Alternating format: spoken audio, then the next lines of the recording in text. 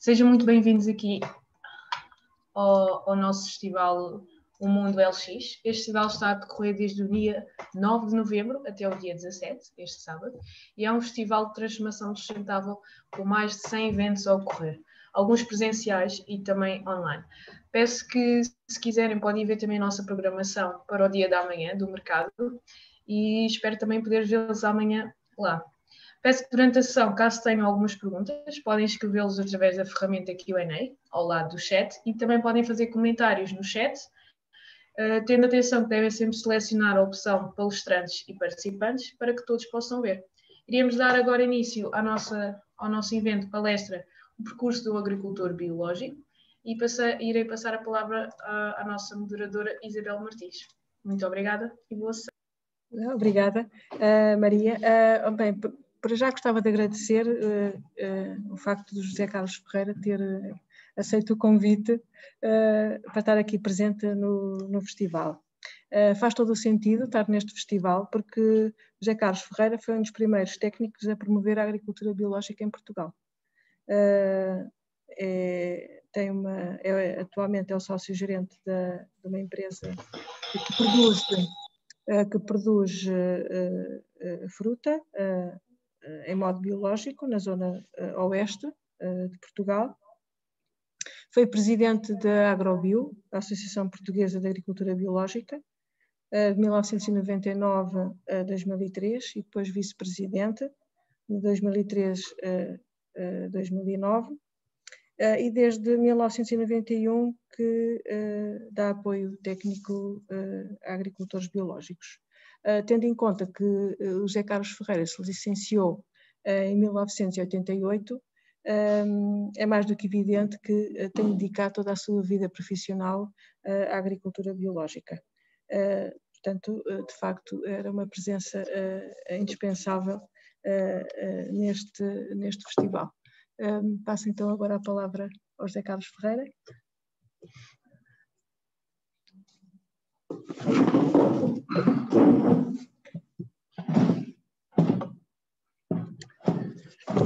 Ok, muito obrigado Isabel eh, pelo convite, por esta apresentação.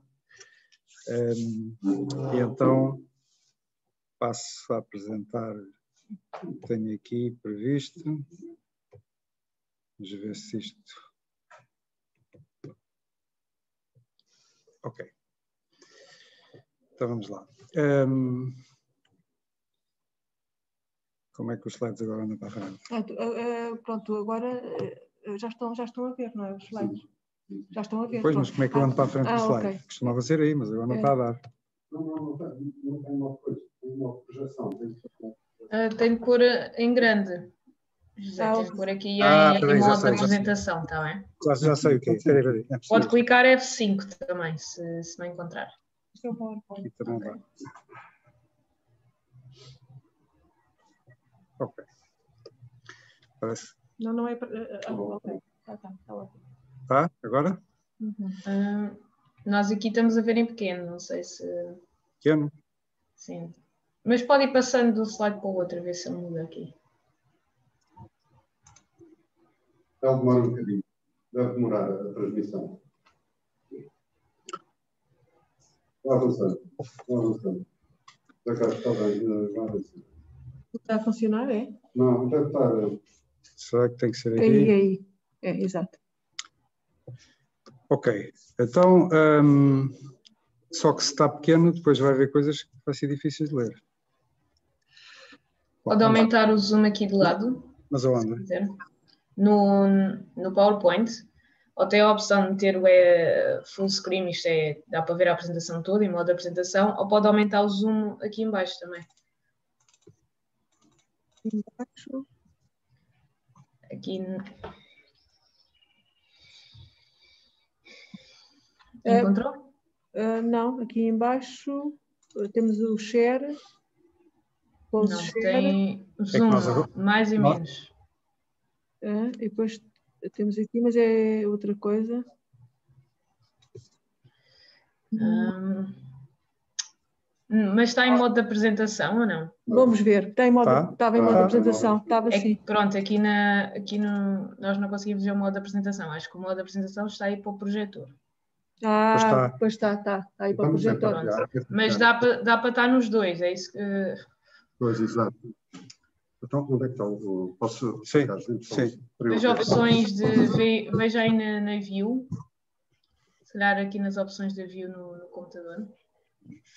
Onde é que está aqui o share do ecrã? Pause share, new share. Está aqui. New share. Screen.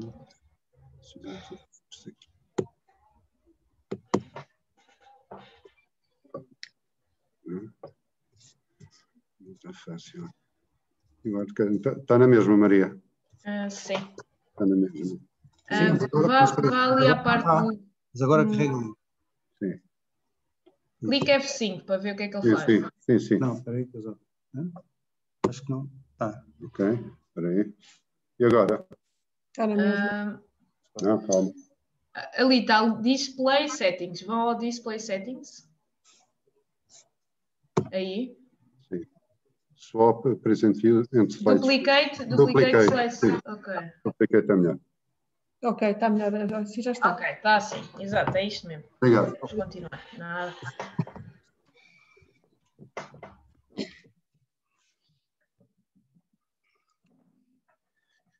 Ok, então vamos lá. Eu, quando dava aulas, andava sempre de pé e a dar aos braços. Aqui é um bocadinho mais complicado, não estou tão habituado, mas enfim. Então vamos lá. Eh, pronto, eh, de acordo com o tema que aqui a Isabel me colocou, que era o percurso de um agricultor biológico, portanto, por isso eu não costumo falar um- de- do meu percurso, mas pronto, como foi o título que ela arranjou, eu vou falar um bocadinho, depois vou falar o que é a agricultura biológica, vantagens e desvantagens desta agricultura biológica e também, como todos somos consumidores, acho que é muito importante falar um bocadinho das vantagens do consumo de produtos biológicos. Hum, ok, em termos de percurso, em termos de eh, produção de fruta biológica, iniciei em 2007, como está aí, através da criação dessa empresa, Frubio Agricultura Biológica Limitada, da qual sou gerente e sócio maioritário. Hum, no entanto, em 2007 eu já tinha 42 anos, portanto, antes disso fui fazendo outras coisas, como a Isabel também já referiu. Eu sou filho de agricultores, depois fiz o curso de agronomia e quando acabei fiquei a dar aulas lá no Instituto Superior de Agronomia e depois, ao fim de sete anos, é que resolvi sair porque achava que estava... Ah, mas uh, isso não é interessante. Eu queria falar aqui de um, de um ponto importante que é o seguinte. Logo no primeiro ano em que comecei a dar aulas no Instituto Superior de Agronomia, um, eu vi um papel lá no Instituto a anunciar uma feira de agricultura biológica, que por sinal era a segunda feira que existia no país, organizada pela Agrobio, que tinha sido fundada três anos antes, um, e, e eu fui, tinha curiosidade, apesar de durante a minha formação académica uh, foi sempre dada uma visão negativa da agricultura biológica, mas tive curiosidade em lá ir ver. E fui lá e depois, curiosamente, vi lá uns produtos de um colega meu, professor do Instituto de Agronomia, que depois, quando estive com ele, falei-lhe que tinha visto lá produtos dele na feira. E ele achou, ficou surpreendido de eu ter lá ido à feira e perguntou-me se eu tinha interesse pela agricultura. Eu gosto de ver uh, as coisas, tudo, quer dizer, estar aberto a, a tudo, não é? E, e então ele vira-se para mim e diz: tu é que eras uma pessoa boa para ir ao Japão visitar um, agricultura biológica. E assim foi, no ano seguinte fui eu e um outro colega, fomos os dois ao Japão e de facto aí foi a minha grande, o meu grande, a minha grande sensibilização para a agricultura biológica, porque até aqui tinha, era uma ideia negativa da agricultura biológica, foi aquela que foi passada no Instituto de. Ali tive a oportunidade de assistir a um congresso científico internacional, com participantes americanos, europeus, japoneses, obviamente, e percebi que, afinal, a agricultura biológica era uma coisa já na altura, portanto, em 1989, já científica, vá lá, portanto, já havia vários estudos científicos em várias universidades, só que, infelizmente, na minha universidade nunca me tinham falado nisso. Pronto. No, no final desse congresso visitámos alguns agricultores, um dos agricultores também marcou-me imenso porque ele fazia agricultura, eles lá chamavam agricultura natural, fazia agricultura natural já há 32 anos, portanto tinha começado no final dos anos 50, um, e nos últimos 17 anos não tinha feito fertilização nenhuma, e as plantas continuavam a crescer extremamente saudáveis, como nós tivemos a oportunidade de ver. E aquilo também chocava completamente com aquilo que eu tinha aprendido na faculdade, eh, e aquilo que me tinham explicado é que isso era impossível. Mas o que é certo é que as plantas estavam lá e estavam saudáveis e a crescer bastante bem, sem, sem fertilização e sem peste, sem pragas. Um, pronto. E isso marcou muito e depois foi tentar perceber que razões científicas é que havia para aquela situação e de facto depois percebi que existia. O que, o que lamentei é que não me tivessem explicado isso na faculdade, mas o que é curioso é que passados 30 anos, eh, ainda este ano teve uns estagiários de agronomia lá na minha exploração agrícola e voltámos e falámos sobre o assunto e, pelos vistos, a formação continua a ser a mesma, ou seja, continuam só a não falar da componente biológica do solo, que é tão importante para eh, mudar, de facto, o grande paradigma da, da nutrição e da proteção das plantas. Pronto, mas a partir daí, desse contacto, um, depois inscrevi-me como sócio da Agrobio, depois fui convidado para integrar o Conselho Técnico, comecei a fazer algum apoio técnico, depois integrei a direção. Uh, tive, olha, nomeadamente com o tal professor, que foi na altura o presidente, o tal professor do Instituto Superior de Agronomia, que era António Lopes, era, é, António Lopes Aleixo, um, que também é agricultor, biológico, um, e depois deixei a direção, passado uns anos voltei e aí fui presidente da Agrobio, também já prestei apoio técnico numa cooperativa de fruticultores, aí não em agricultura biológica, mas pelo menos promovi um bocadinho uma outra coisa que é a proteção integrada, que na altura era um, um avanço em termos ambientais, hoje em dia já não é, porque isso já andou para trás outra vez, mas enfim.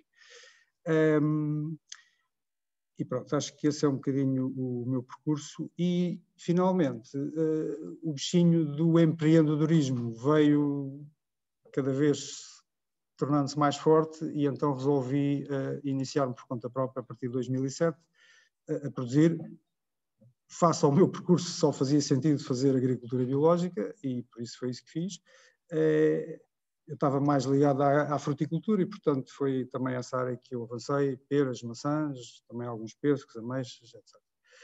Entretanto, como tenho uma série de clientes aqui, principalmente na região da Grande Lisboa, mas também Porto, Algarve, Madeira, às vezes os clientes criam outros produtos que eu às vezes não tinha, então, entretanto, também às vezes compro outros produtos a outros produtores. Ok, e então agora avançamos para o que é que, que, é, que é a agricultura biológica? Um, há aqui um, enfim, há aí definições muito mais completas que estas, esta é só para podermos conversar um bocadinho para iniciar a conversa. Portanto, é um sistema de produção que utiliza todo um conjunto de técnicas de modo a fomentar uma agricultura mais preventiva, não utilizando pesticidas e adubos químicos de síntese, e produz alimentos de elevada qualidade nutricional sem danificar o ambiente. Ou seja, é utilizar todo um conjunto de técnicas de modo a fomentar uma agricultura mais preventiva.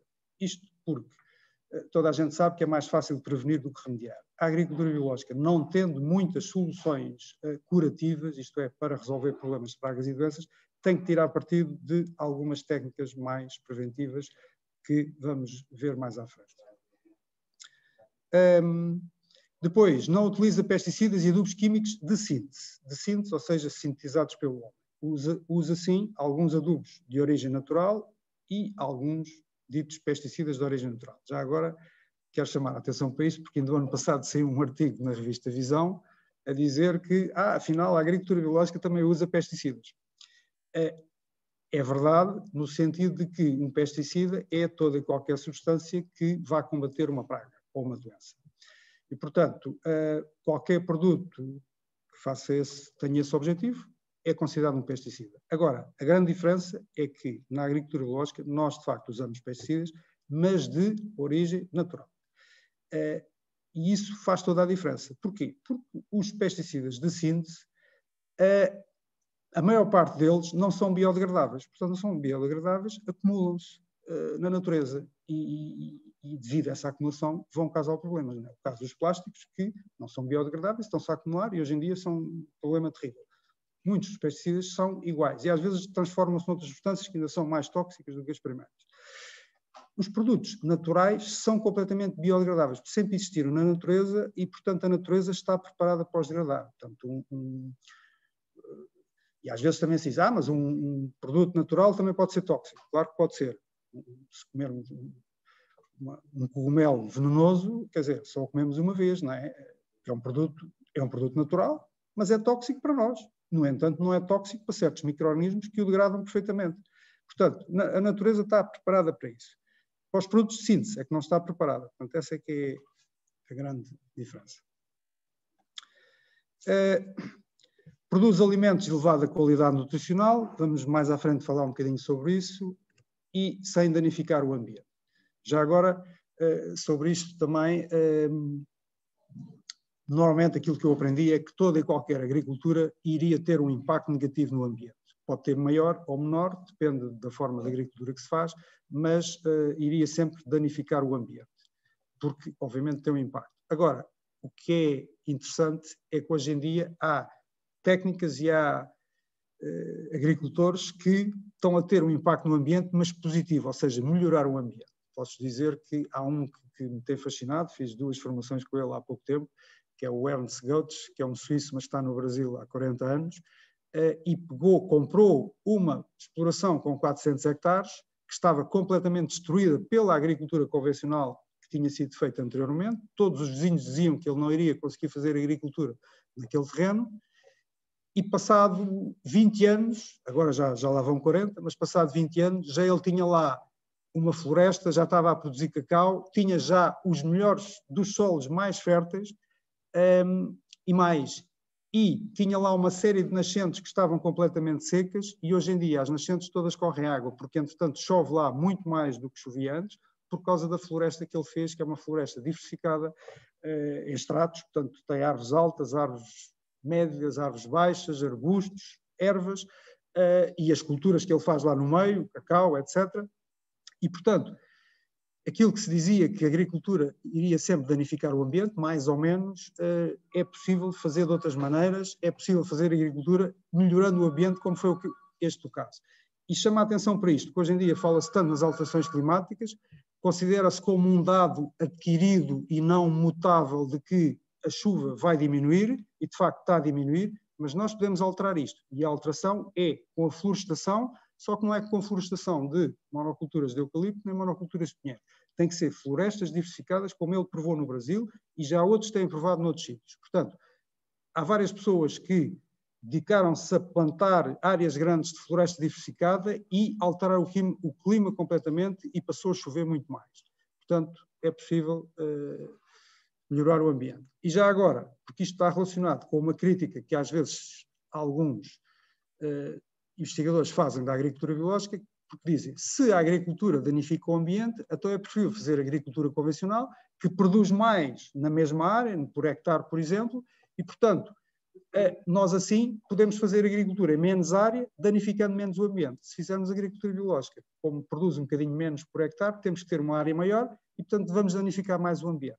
Mas isto é na tal perspectiva de que a agricultura vai danificar sempre o ambiente. Mas é perfeitamente possível produzir alimentos sem danificar o ambiente. Bom, uh, só, só queria lembrar que, apesar de recentemente é que a agricultura biológica tem-se vindo a desenvolver, uh, principalmente a partir dos anos 90, uh, eh, mas queria chamar a atenção que os, os pioneiros da agricultura biológica já começaram a promover esta agricultura nos anos 20 e 30, quando ainda praticamente nem se usavam pesticidas, só que eram pessoas com uma visão muito à frente e começaram a ver logo que o caminho da fertilização que estava a fazer porque nessa altura praticamente só se aplicava fertilizantes químicos ainda, não havia pesticidas, só a partir da Segunda Guerra Mundial é que eles começaram a desenvolver. Um, mas começaram logo a ver que aquele tipo de fertilizantes iria trazer problemas mais tarde. Claro que toda a gente os criticou, hoje em dia está-se a verificar que de facto tinham toda a razão. Bom, no início falámos de algumas técnicas preventivas, uh, queria só falar aqui um bocadinho de algumas. Portanto, uma fundamental é melhorar a fertilidade do solo. Ehm, como? Uma das maneiras é estimular a microbiologia do solo. Eh, é bom termos noção que o solo é constituído por terra, portanto, argila, areia, eh, uma série de componentes, não é? ar, água, mas também tem uma série de seres vivos. Microbiologia, não só microbiologia, são fungos, são bactérias, são vírus, mas também alguns seres vivos que não são, micróbios, não são micróbios, como por exemplo minhocas, insetos, aranhas, enfim, uma série de coisas que são importantíssimos para a nutrição das plantas e para a proteção das plantas um, e, e, e, é um componente fundamental e aliás é aqui que é um bocadinho o segredo da agricultura biológica, é esta biologia do solo, que, que esta é a grande diferença para a agricultura convencional, porque na agricultura convencional esta microbiologia está praticamente eliminada devido à aplicação de adubos e pesticidas de síntese que vai afetar drasticamente esta biologia do solo. Como é que depois nós podemos estimular a microbiologia do solo? Por exemplo, aplicando composto orgânico, que são matérias orgânicas transformadas e ricas em micro-organismos, eh, porque são transformadas biologicamente, através de, uma série de micróbios.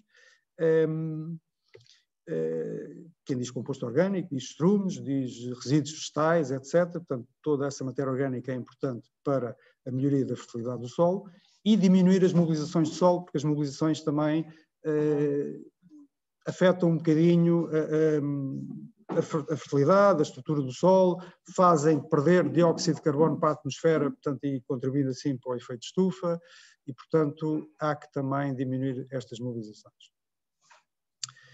e aumentar o teor de.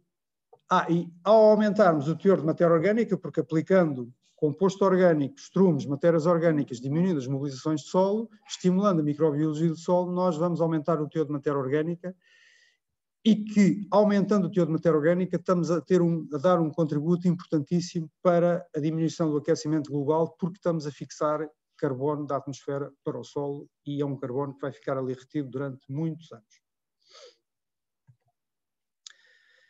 Pronto, outra técnica preventiva é não fazer monoculturas, fazer culturas consociadas, hum, porque quando há mais do que uma cultura hum, vamos ter menos pragas e doenças. Eh, rotação de culturas, ou seja, não fazer todos os anos a mesma cultura no mesmo sítio. Por exemplo, eu conheço agricultores, tenho agricultores vizinhos meus que fazem, só fazem alfaces, portanto plantam alfaces, passado dois meses estão a colher alfaces, voltam a plantar alfaces e só fazem alfaces porque já têm o seu mercado todo eh, delineado para a venda de alface. E se quiserem vender tomates, quem lhes compra diz que tomates compra a outro e não compra a ele. E, portanto, só que isto tem um problema, é que fazer sempre a mesma cultura no mesmo terreno, vamos passar pouco tempo ter montes de pragas e doenças. E, portanto, se queremos fazer uma agricultura mais preventiva, porque temos menos soluções, temos que fazer rotação de culturas. Aliás, estes agricultores convencionais que fazem sempre as alfaces, mesmo com a, a, enormidade de pesticidas que têm disponíveis, chega a um certo ponto que já não conseguem, porque aparecem tantas pragas, tantas pragas, que tinham que aplicar tantos pesticidas que às tantas já não é economicamente rentável e depois vão ter que mudar de terreno para um outro que esteja virgem, vá lá, que não, esteja, não tenha sido cultivado por alface nos últimos anos. Portanto, isso mostra que esta agricultura não é de facto sustentável. Depois, outra coisa uh, que, que, se faz na agricultura biológica é promover os auxiliares, uh, através de auxiliares são organismos bons que existem na natureza, ou seja, na natureza uh, tudo é importante, não é? Todos os seres vivos são importantes. Quando nós observamos a natureza do ponto de vista humano, claro que há uns que nós não gostamos muito e há outros que gostamos, não é? Aqueles que afetam as culturas nós não gostamos tanto. Aqueles que ajudam a combater as pragas e doenças nós gostamos mais e por isso chamamos de auxiliares. No entanto, todos são importantes, todos têm o seu papel. Eh, quando utilizamos estas técnicas, mesmo, mesmo assim muitas vezes surgem alguns problemas e, portanto, aí temos algumas possibilidades de usar os tais pesticidas como naturais, como eu dizia há bocadinho, uh, por exemplo, para evitar fungos, podemos usar o cobre, que é um produto que tradicionalmente na agricultura convencional sempre se tem usado muito, agora usa-se menos porque as empresas promovem mais produtos mais caros, porque é mais interessante para as empresas. Uh, o enxofre também é um produto tradicional da agricultura convencional que também se pode usar na agricultura biológica. Portanto, todos estes, quer o cobre, quer o enxofre, são produtos naturais, extraídos de minas, são minérios. O próprio leite pode ser considerado um pesticida porque o leite evita uma doença das plantas que é o oídio. Portanto, se evita uma doença das plantas, é considerado um pesticida também, apesar de nós também bebermos leite, é? ou pelo menos alguns. Uh, chá, chá, entre aspas, porque é mais uma decussão da planta cavalinha, por exemplo, que é uma planta muito interessante para também diminuir uh, infecções com fungos, dá uma certa resistência à planta, e há outras plantas que também se pode usar, enfim, tenho só aqui alguns exemplos. E, por exemplo, para combater insetos, uh, extrato de outra planta, que é a planta do Nime, que, que é uma planta mais subtropical, que um, é muito boa para muitas coisas, até para um, combater pulgas e carraças nos, nos cães e gatos, uh, para combater alguns insetos das plantas, afídeos, por exemplo, ou piolhos, enfim, uh, é uma planta que tem muitas utilidades. O Bacillus thuringiensis é uma bactéria que se pode utilizar na agricultura biológica, que é específica de uma lagarta. O spinosade é um produto que é obtido através de micro-organismos. O vírus da granulose é um vírus que também é muito específico, só afeta o, o, a lagarta que ataca maçã, as maçãs e as peras, que é o chamado vírus da granulose. Um, Aplica-se como se fosse um pesticida, só que na realidade é um produto biológico que é um vírus extremamente específico, só ataca mesmo aquela lagarta, outras lagartas já não ataca e a nós também não nos, tem, não nos causa problemas nenhum. E depois também fazemos, quando necessário, largadas de insetos auxiliares, uh, por exemplo, tipo joaninhas. Joaninha nem é dos auxiliares mais utilizados, mas pronto, falo em joaninhas porque é o, daqueles mais conhecidos. Nós podemos fazer largadas, em estufas faz mais do que ao ar livre, largadas auxiliares para eles combaterem uh, certas pragas. Portanto, depois do que acabámos de ver, pode-se concluir que a agricultura biológica não é não fazer nada, eh, e digo isto porque muitas vezes eu ouvi durante tanto tempo eh, agricultores dizerem que ah, eu também faço agricultura biológica, tenho um olival abandonado, portanto faço agricultura biológica. Não, isso não é agricultura biológica, isso é abandono, que é outra coisa diferente. Eh, também não é um regresso ao passado, porque a agricultura biológica, apesar de no passado se poder dizer que a agricultura que se fazia era biológica porque não se utilizava produtos químicos de síntese, mas de facto a agricultura biológica hoje em dia é, é muito mais do que isso porque utiliza técnicas também uh, de ponta, como é o caso, lá está, de largadas de auxiliares, de, de sei lá, mondas térmicas para queimar plantas, enfim, máquinas sofisticadas para, para também combater infestantes, há muita coisa. E que está sempre a evoluir. Um, bom, porque é que é importante promover a agricultura biológica? Porque, infelizmente, a agricultura convencional tem vindo a causar diversos problemas e cada vez mais graves. Alguns desses problemas. Bom, para já, só lembrar que, no fundo, este tipo de agricultura começou no início do século XX, com a aplicação de fertilizantes químicos, que, que foi promovido por Justus von Liebig no final do século XIX,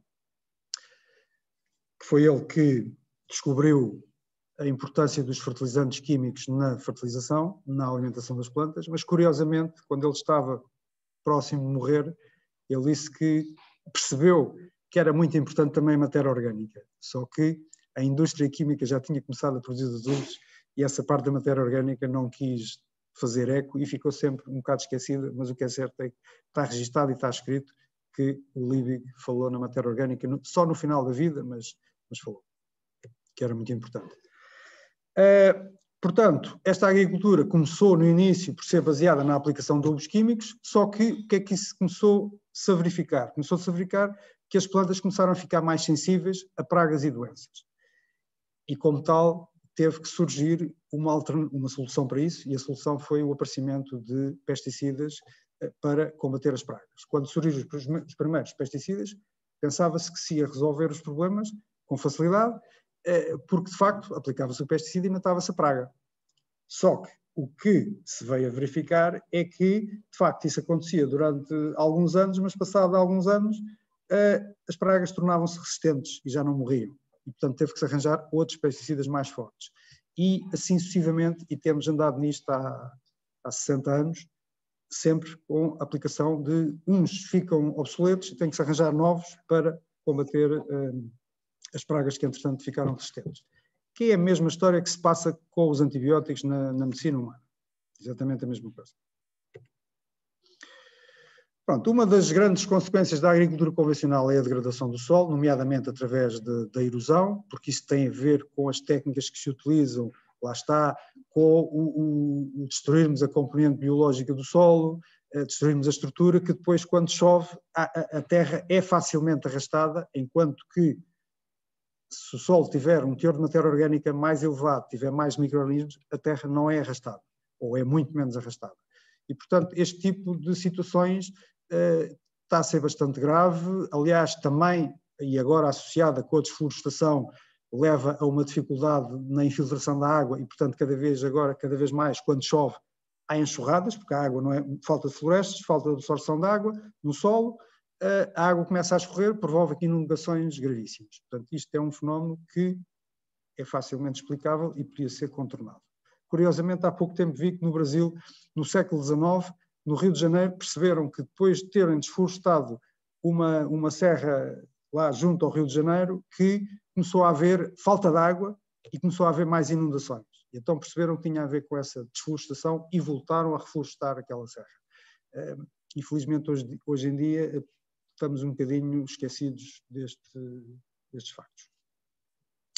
Já agora, estão a ver aqui na imagem que uh, desapareceu com esta enxurrada, uh, pai, é difícil ver, mas pelo menos 50 centímetros de sol.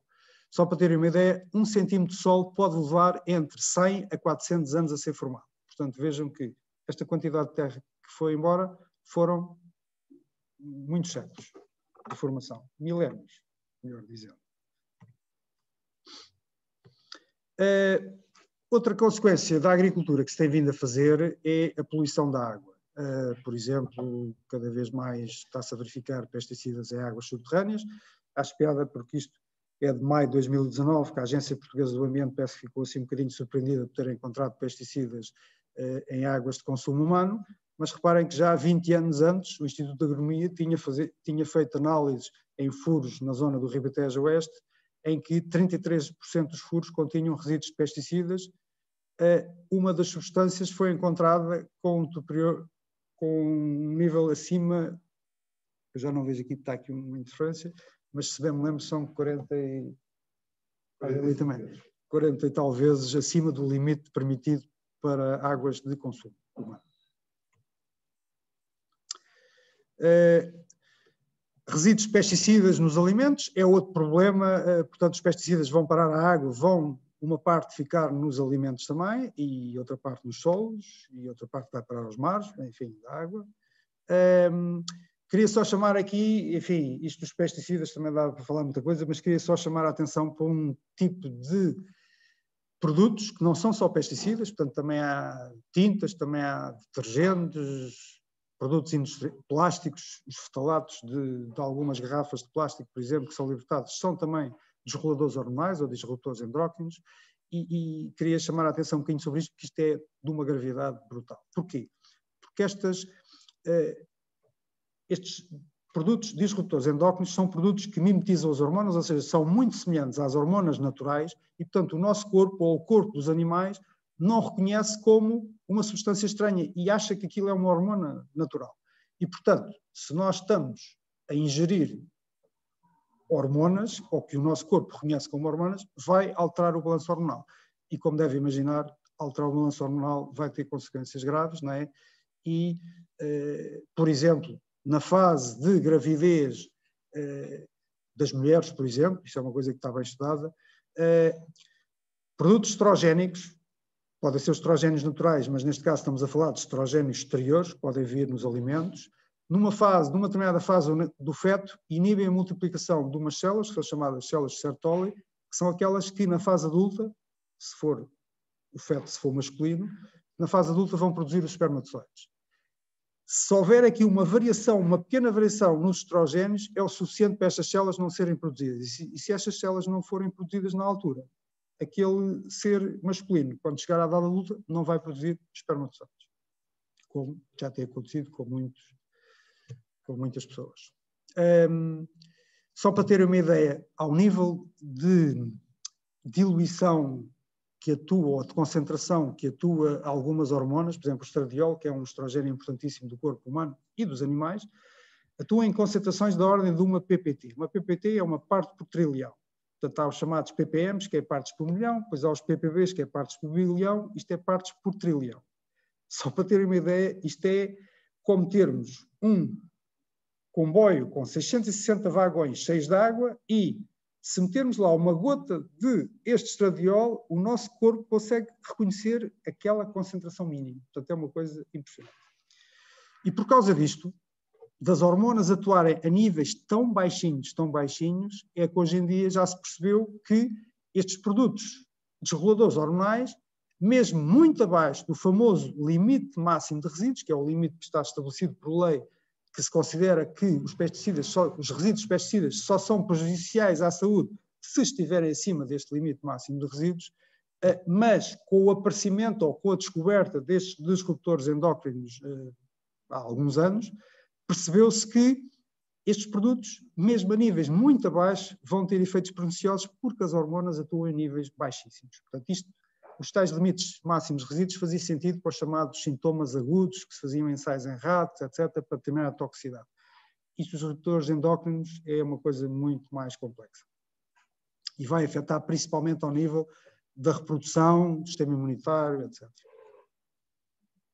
Por exemplo, cá está, os problemas no sistema reprodutor, diminuição de espermatozoides viáveis, alteração na relação macho-fêmea, porque eh, isto também tem a ver com hormonas, por exemplo, isto já um investigador da Faculdade de Ciência e Tecnologia da Universidade de Nova Lisboa dizia em 2004 que a poluição está a mudar de sexo aos peixes por causa destes eh, estrogénios químicos que estão nas águas que podem ser pesticidas, podem ser detergentes, tintas, podem ser também medicamentos humanos, que vão parar às águas também. Um, criptorquidismo, uh, órgãos sexuais atrofiados, formações no útero. Portanto, isto, isto, são tudo coisas que já se tinham verificado em animais. Há uns anos havia uma série de investigadores que diziam que ah, isto está-se a passar nos animais, mas os seres humanos estão um bocadinho acima na, na cadeia e não, são, não sofrem com isto está-se a verificar que estamos a sofrer com isto exatamente como todos os animais. Porque a nível de hormonas nós somos idênticos a todos os animais. Debilitação do sistema imunitário também afeta o desenvolvimento cerebral, dificuldades de aprendizagem, hiperatividade, intolerância ao stress. Portanto, isto é, esta história dos problemas dos disruptores endócrinos é de facto de uma gravidade brutal e não tem sido, infelizmente, muito debatida. Por isso, quis dar aqui algum ênfase nesta situação. Ah, já agora pergunta-se, será que também está a afetar os humanos? Uh, posso mostrar só aqui algumas coisas, até já com alguns anos. Por exemplo, uma equipa de dinamarqueses mostrou que entre 1940 e 1990 a quantidade de espermatozoides viáveis no sêmen humano diminuiu para metade. Em França, de 86 a 96, a incidência de cancro no testículo aumentou 50%. Claro que nós não podemos dizer que isto é exclusivamente dos desreguladores hormonais ou dos disruptores endócrinos, mas que deve haver aqui também algum, porque há muitos fatores que influenciam, mas que isto tem influência, deve ter. Por exemplo, em Portugal estima-se, ou estimava-se na altura, em 2003, eh, que 500 mil casais são inférteis, portanto, um milhão de pessoas não consegue ter filhos. Em cada ano aparecem 10 mil casos, casos novos, dizia o professor Silva Carvalho, da Faculdade de Medicina do Porto. Um, e já agora, queria falar-vos um dos produtos, um dos pesticidas que é disruptor endócrino, é um herbicida, ou seja, é um produto que serve para destruir e matar ervas, que é o famoso glifosato, famoso porque tem-se vindo a falar muito há uns anos, eh, porque hum, é o herbicida mais usado em todo o mundo, mais usado em Portugal e no resto dos países. Aliás, as juntas de freguesia eh, costumavam usá-lo para destruir as ervas aí nos passeios, etc. Um, e a Organização Mundial de Saúde já o considerou potencialmente cancerígeno, um, enfim, já há um monte de estudos que mostram que de facto ele é bastante prejudicial.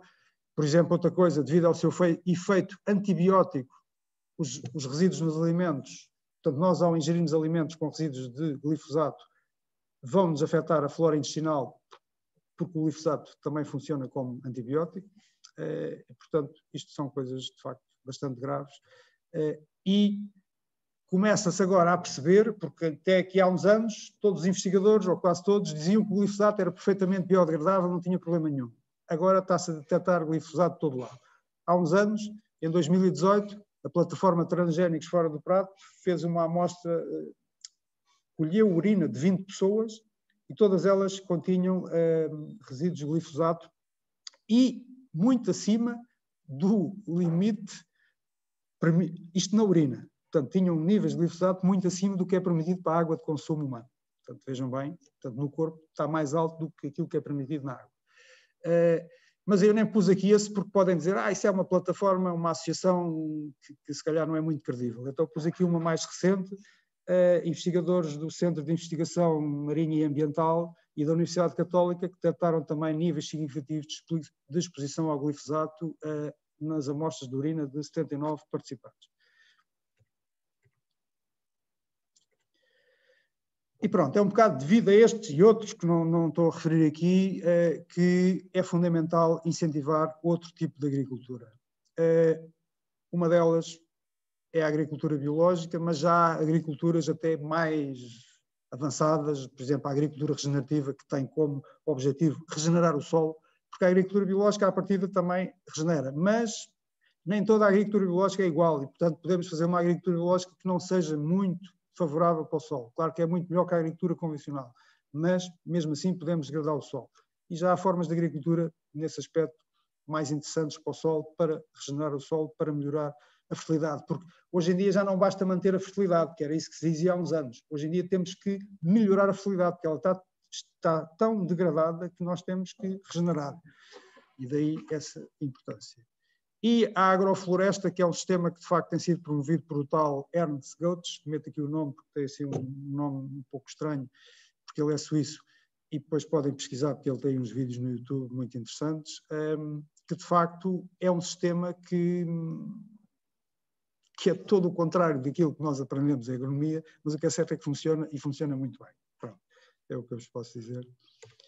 Um, Vantagens da agricultura biológica. Portanto, a melhoria da fertilidade dos solos, preserva melhor a biodiversidade, ehm, seja a biodiversidade aérea, portanto, os insetos, uh, as plantas, uh, seja no solo, os micro-organismos, as minhocas, uma série de charada que é fundamental.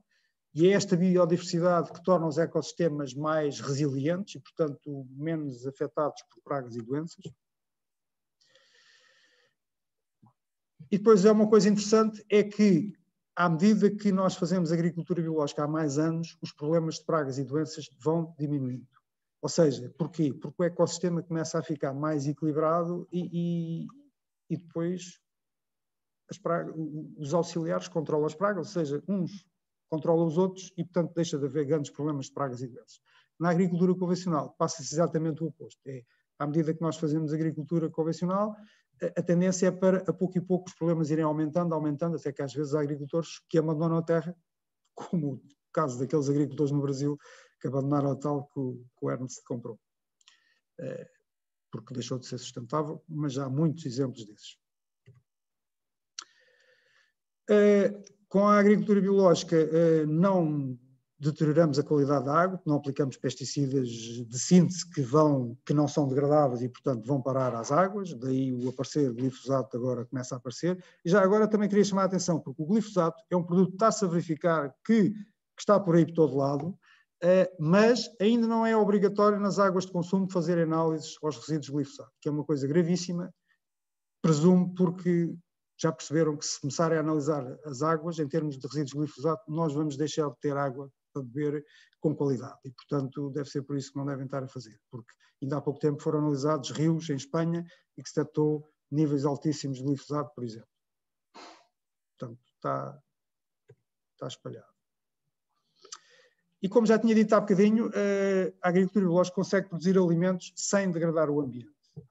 Ou seja, é possível compatibilizar as duas coisas, produzir alimentos e manter o ambiente e produz alimentos com melhor qualidade nutricional, que vamos ver um bocadinho mais à frente uh, essa situação. Ah, e para quem é agricultor, esta questão é muito importante, é que não sei se tem ideia, mas os agricultores são aqueles que são mais prejudicados pelos pesticidas, são aqueles que contactam com os pesticidas em maior eh, concentração, trabalham com os produtos concentrados, portanto, quando vão a pulverizar, apanham sempre alguns resíduos, apesar de terem os equipamentos de proteção, mas mesmo assim eh, há sempre contaminações e por isso é que há estudos, por exemplo, em França, em que os agricultores são das pessoas que sofrem com mais cancros por causa, por causa disto. E, portanto, fazendo uma agricultura biológica tem essa vantagem de não precisarmos de usar estes produtos tão nefastos. Bom, o que é que é isto de melhor qualidade nutricional? É, por exemplo, tem-se verificado por vários estudos que eh, os alimentos biológicos, os produtos da agricultura biológica normalmente têm menos nitratos. Nitratos é, é, uma substância que é prejudicial à saúde e que tem a ver com a fertilização azotada. Eh, também, em geral, os produtos biológicos, como não são usados pesticidas de síntese, portanto, em geral, estão isentos de pesticidas. Eu não digo sempre, porque pode haver, às vezes, alguma contaminação. Por exemplo, um vizinho, se há um dia que está muito vento e está a fazer uma poluição, pode haver alguma contaminação. Isso já aconteceu. Agora, obviamente que é completamente diferente ser uma contaminaçãozinha, pode-se aplicar diretamente nos produtos e, e, por várias vezes, não é? Portanto, são coisas completamente diferentes. De qualquer maneira, quando há essa contaminação e é detectado, esse produto não pode ser comercializado na agricultura biológica. Uh, os produtos em agricultura biológica, nós não podemos usar organismos geneticamente modificados ou transgénicos, uh, e não vou falar aqui, mas há vários estudos com animais que mostram que os animais vão a consumirem transgénicos têm problemas de saúde, têm menos fertilidade, têm certos problemas eh, e, portanto, além de haver impactos também negativos no ambiente, enfim, mas não vou desenvolver mais este tema, que eu estava mais por dentro era há uns anos, agora não acompanhei tanto nestes últimos anos esta evolução. Eh, alimentos mais saborosos, aliás, ouvimos muitas pessoas dizerem que, que, ainda há pouco tempo uma pessoa que me comprou peras e que dizia que, que já não comia peras, pera rocha, daquelas saborosas já há muitos anos. E, e, podem dizer, ah, isso é, isso é psicológico, porque como é biológico as pessoas associam logo e, portanto, acham que é mais saboroso. Mas há estudos que mostram que, que não é só psicológico. Uh, portanto, quando estamos a falar de estudos, estamos a falar em ensaios cegos em que as pessoas não sabem o que é que estão a provar. Por exemplo, cá em Portugal, já há vários anos que a Direção Regional da Agricultura do Algarve fez estudos com morangos biológicos e morangos convencionais e deu a provar aos funcionários da direção regional e, e chegaram à conclusão que de facto os morangos biológicos eram mais saborosos. Houve um estudo na Nature também em 2001 com maçãs que também chegou à conclusão que as maçãs eram mais saborosas, portanto não é só psicológico, o psicológico também tem alguma influência, mas de facto é, é mesmo real. Um, melhor qualidade, uh, já falámos. Alimentos mais ricos em minerais. Uh, isso é uma coisa que também tem-se verificado, mas já agora, antes disso, queria chamar a atenção para um aspecto que não tem sido muito falado cá em Portugal, é que é o seguinte, é que tem-se vindo a verificar, isto são estudos que têm sido feitos em Inglaterra, que ao longo do tempo os produtos, uh, os vegetais, as alfaces, os espinafres, etc., as frutas, uh, os cereais, tem vindo a diminuir o seu teor de minerais um, nesses produtos. Portanto, aliás, este é um estudo que compara entre 1940 e 1991 uh, e, por exemplo, vem aqui as barras estão para baixo, quer dizer que os produtos em 1991 têm menos do que tinham em 1940. Portanto, como veio ali, menos sódio, menos potássio, só o fósforo é que em 1991 estes, a média destes vegetais, quando estamos a falar de vegetais, estamos a falar de vários hortícolas, portanto, alfaces, espinafres, eh, uma série de outras coisas. Portanto, é a média desses todos. Só o fósforo é que está mais alto. E não é por acaso que seja o fósforo, porque o fósforo é um dos fertilizantes químicos que na agricultura convencional se aplica. Curiosamente, o potássio também é um fertilizante químico que se utiliza na agricultura, mas mesmo assim tem vindo a diminuir o seu teor nos vegetais. Nas frutas também, também se passa este decréscimo de nutrientes, nos cereais a mesma coisa, e portanto isto é de facto gravíssimo, porque nós sabemos que nós, quando ingerimos o alimento, estes minerais são fundamentais e, portanto, eh, nós vamos buscar estes minerais através da alimentação. se cada vez os alimentos estão mais pobres em minerais, quer dizer que cada vez nós estamos a fazer uma alimentação um, menos rica, como é óbvio. É? Agora, será que isto tem uma explicação? Porque é que o teor de minerais dos produtos agrícolas está a baixar? Quem percebe um bocadinho de agricultura, e nomeadamente da agricultura biológica, uh, é fácil perceber a razão desta situação. Porquê? Porque a agricultura que se tem vindo a fazer, a agricultura convencional, está a destruir a biologia do solo com os adubos e com os pesticidas. É, e a biologia do solo, ao transformar, porque a biologia do solo tem vários aspectos, desde proteger as plantas de, de doenças, mas também de solubilizar nutrientes para as plantas. Aliás, a biologia do solo para as plantas funciona como a biologia do nosso tubo digestivo para nós. Portanto, é importantíssimo. Nós, sem os, o microbioma, nós não conseguimos sobreviver, porque as bactérias que nós temos, e fungos e vírus, etc., são fundamentais para transformar certas substâncias para nos tornar mais absorvíveis e nos libertar algumas vitaminas, etc. Com as plantas passa a mesma coisa, só que neste caso os micro-organismos estão do lado fora das raízes, enquanto no nosso caso estão do lado dentro. Um, quando nós destruímos a biologia do solo com os adubos e pesticidas, a alimentação das plantas vai ficar muito mais pobre. Outra coisa, quando nós aplicamos adubos químicos, normalmente os adubos químicos, há uns anos, normalmente os adubos químicos só levavam três nutrientes, que era azoto, fósforo e potássio. Hoje em dia já levam mais, porque tem vindo a haver carências cada vez maiores, mas normalmente não ultrapassa os 10 nutrientes. Quando sabemos, ou pelo menos dizia esta Ana Primavesi, que é uma, uma, micro, uma especialista de solos, morreu agora há poucos anos, eh, mas que, que brasileira, brasileira não, viveu no Brasil muitos anos, eh, que com uma experiência enorme em que ela diz que pelo menos as plantas precisam de 45 nutrientes. Portanto, se elas precisam de 45, se nós só aplicamos 7 ou 8 ou 10, claro que elas vão ficar desequilibradas. Porque estamos a aplicar adubos químicos. Quando nós aplicamos matéria orgânica, a matéria orgânica tem um bocadinho já de outras coisas. E aí é a grande diferença. E depois, com a biologia do solo, que faz mais algumas transformações, é essa a diferença. E só para ter uma ideia, reparem, quando nós estamos a falar de um solo praticamente esterilizado, que isto é um exagero, quer dizer, não existe solos esterilizados, mas existem solos quase esterilizados, uh, neste caso, não havendo micro-organismos, tudo o que a planta precisa de absorver, nós temos que colocar lá na forma de adubo. Se nós tivermos micro-organismos a trabalhar, uh, tiramos muito mais partido da natureza e precisamos aplicar muito menos nutrientes porque temos micro-organismos que fixam azoto do ar, temos micro-organismos, que é o caso daquele que está ali com o picarete na mão, está ali a partir pedra, ou seja, está a solubilizar minerais da fração mineral do solo, um, temos outros que degradam matéria orgânica, portanto, desta maneira precisamos aplicar menos nutrientes ao solo e desta maneira a alimentação da planta é muito mais rica porque estes micro-organismos produzem certas vitaminas, certos reguladores de crescimento que são fundamentais para a saúde das plantas. Por exemplo, há aqui um estudo que mostra que hum, há, umas, há, uns fungos que são chamadas micorrizas, uh, e há um tipo de micorrizas que são as endomicorrizas, uh, que fazem simbiose com a raiz das plantas. Portanto, são fungos em simbiose com a raiz das plantas.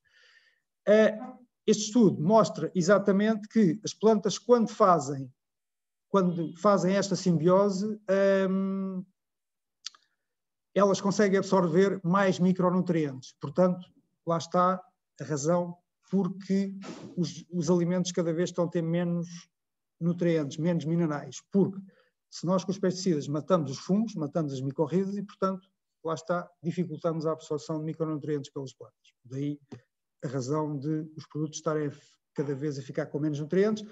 E por isso e já agora, por isso, começa a aparecer cada vez a indústria alimentar a suplementar cada vez mais os alimentos, né? a, a, a suplementar com ferro, com cálcio, com não sei o quê, porque. Mas essa não é a solução. A solução seria alterar a forma da agricultura e aí resolvíamos uma série de problemas. Mas enfim, isso é outro negócio que, que está agora a surgir. Agora, já há alguns anos. É, quando se faz algumas comparações entre produtos biológicos e produtos convencionais, em termos nutricionais, há aqui um aspecto que eu queria referir uh, que é muito importante. Este foi um estudo comparativo que foi feito em 2001, ou seja, pegaram em 99 estudos e foram ver se eram todos considerados válidos ou não e chegaram à conclusão, de facto, que não, porque eles elencaram uma série de, de critérios que os estudos tinham que ter para ser considerados credíveis. Um deles, que me parece fundamental, é que os produtos biológicos têm de vir, ou seja, estes que se está a experimentar, a fazer experiências, têm que provir de uma parcela certificada. O que é que é uma parcela certificada? É que pelo menos já tenha ultrapassado o período de conversão. O período de conversão é o período a partir do qual, ou seja, vamos imaginar que hoje tenho aqui uma parcela que começa a seguir as regras da agricultura biológica, mas eu logo as próximas culturas não posso vender como biológicas, porque estou ainda no chamado período de conversão.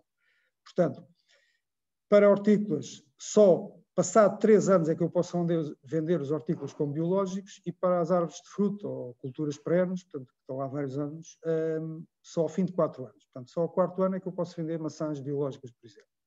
Porquê? Porque se admite que neste período de transição o solo ainda não está com a fertilidade como deve ser, ainda há alguns resíduos de pesticidas, a tal biologia ainda não está a funcionar e, portanto, as coisas demoram algum tempo a ser, um, entrar em equilíbrio. Daí que os estudos também fazem sentido ser feitos em solos que já estão em agricultura biológica há vários anos.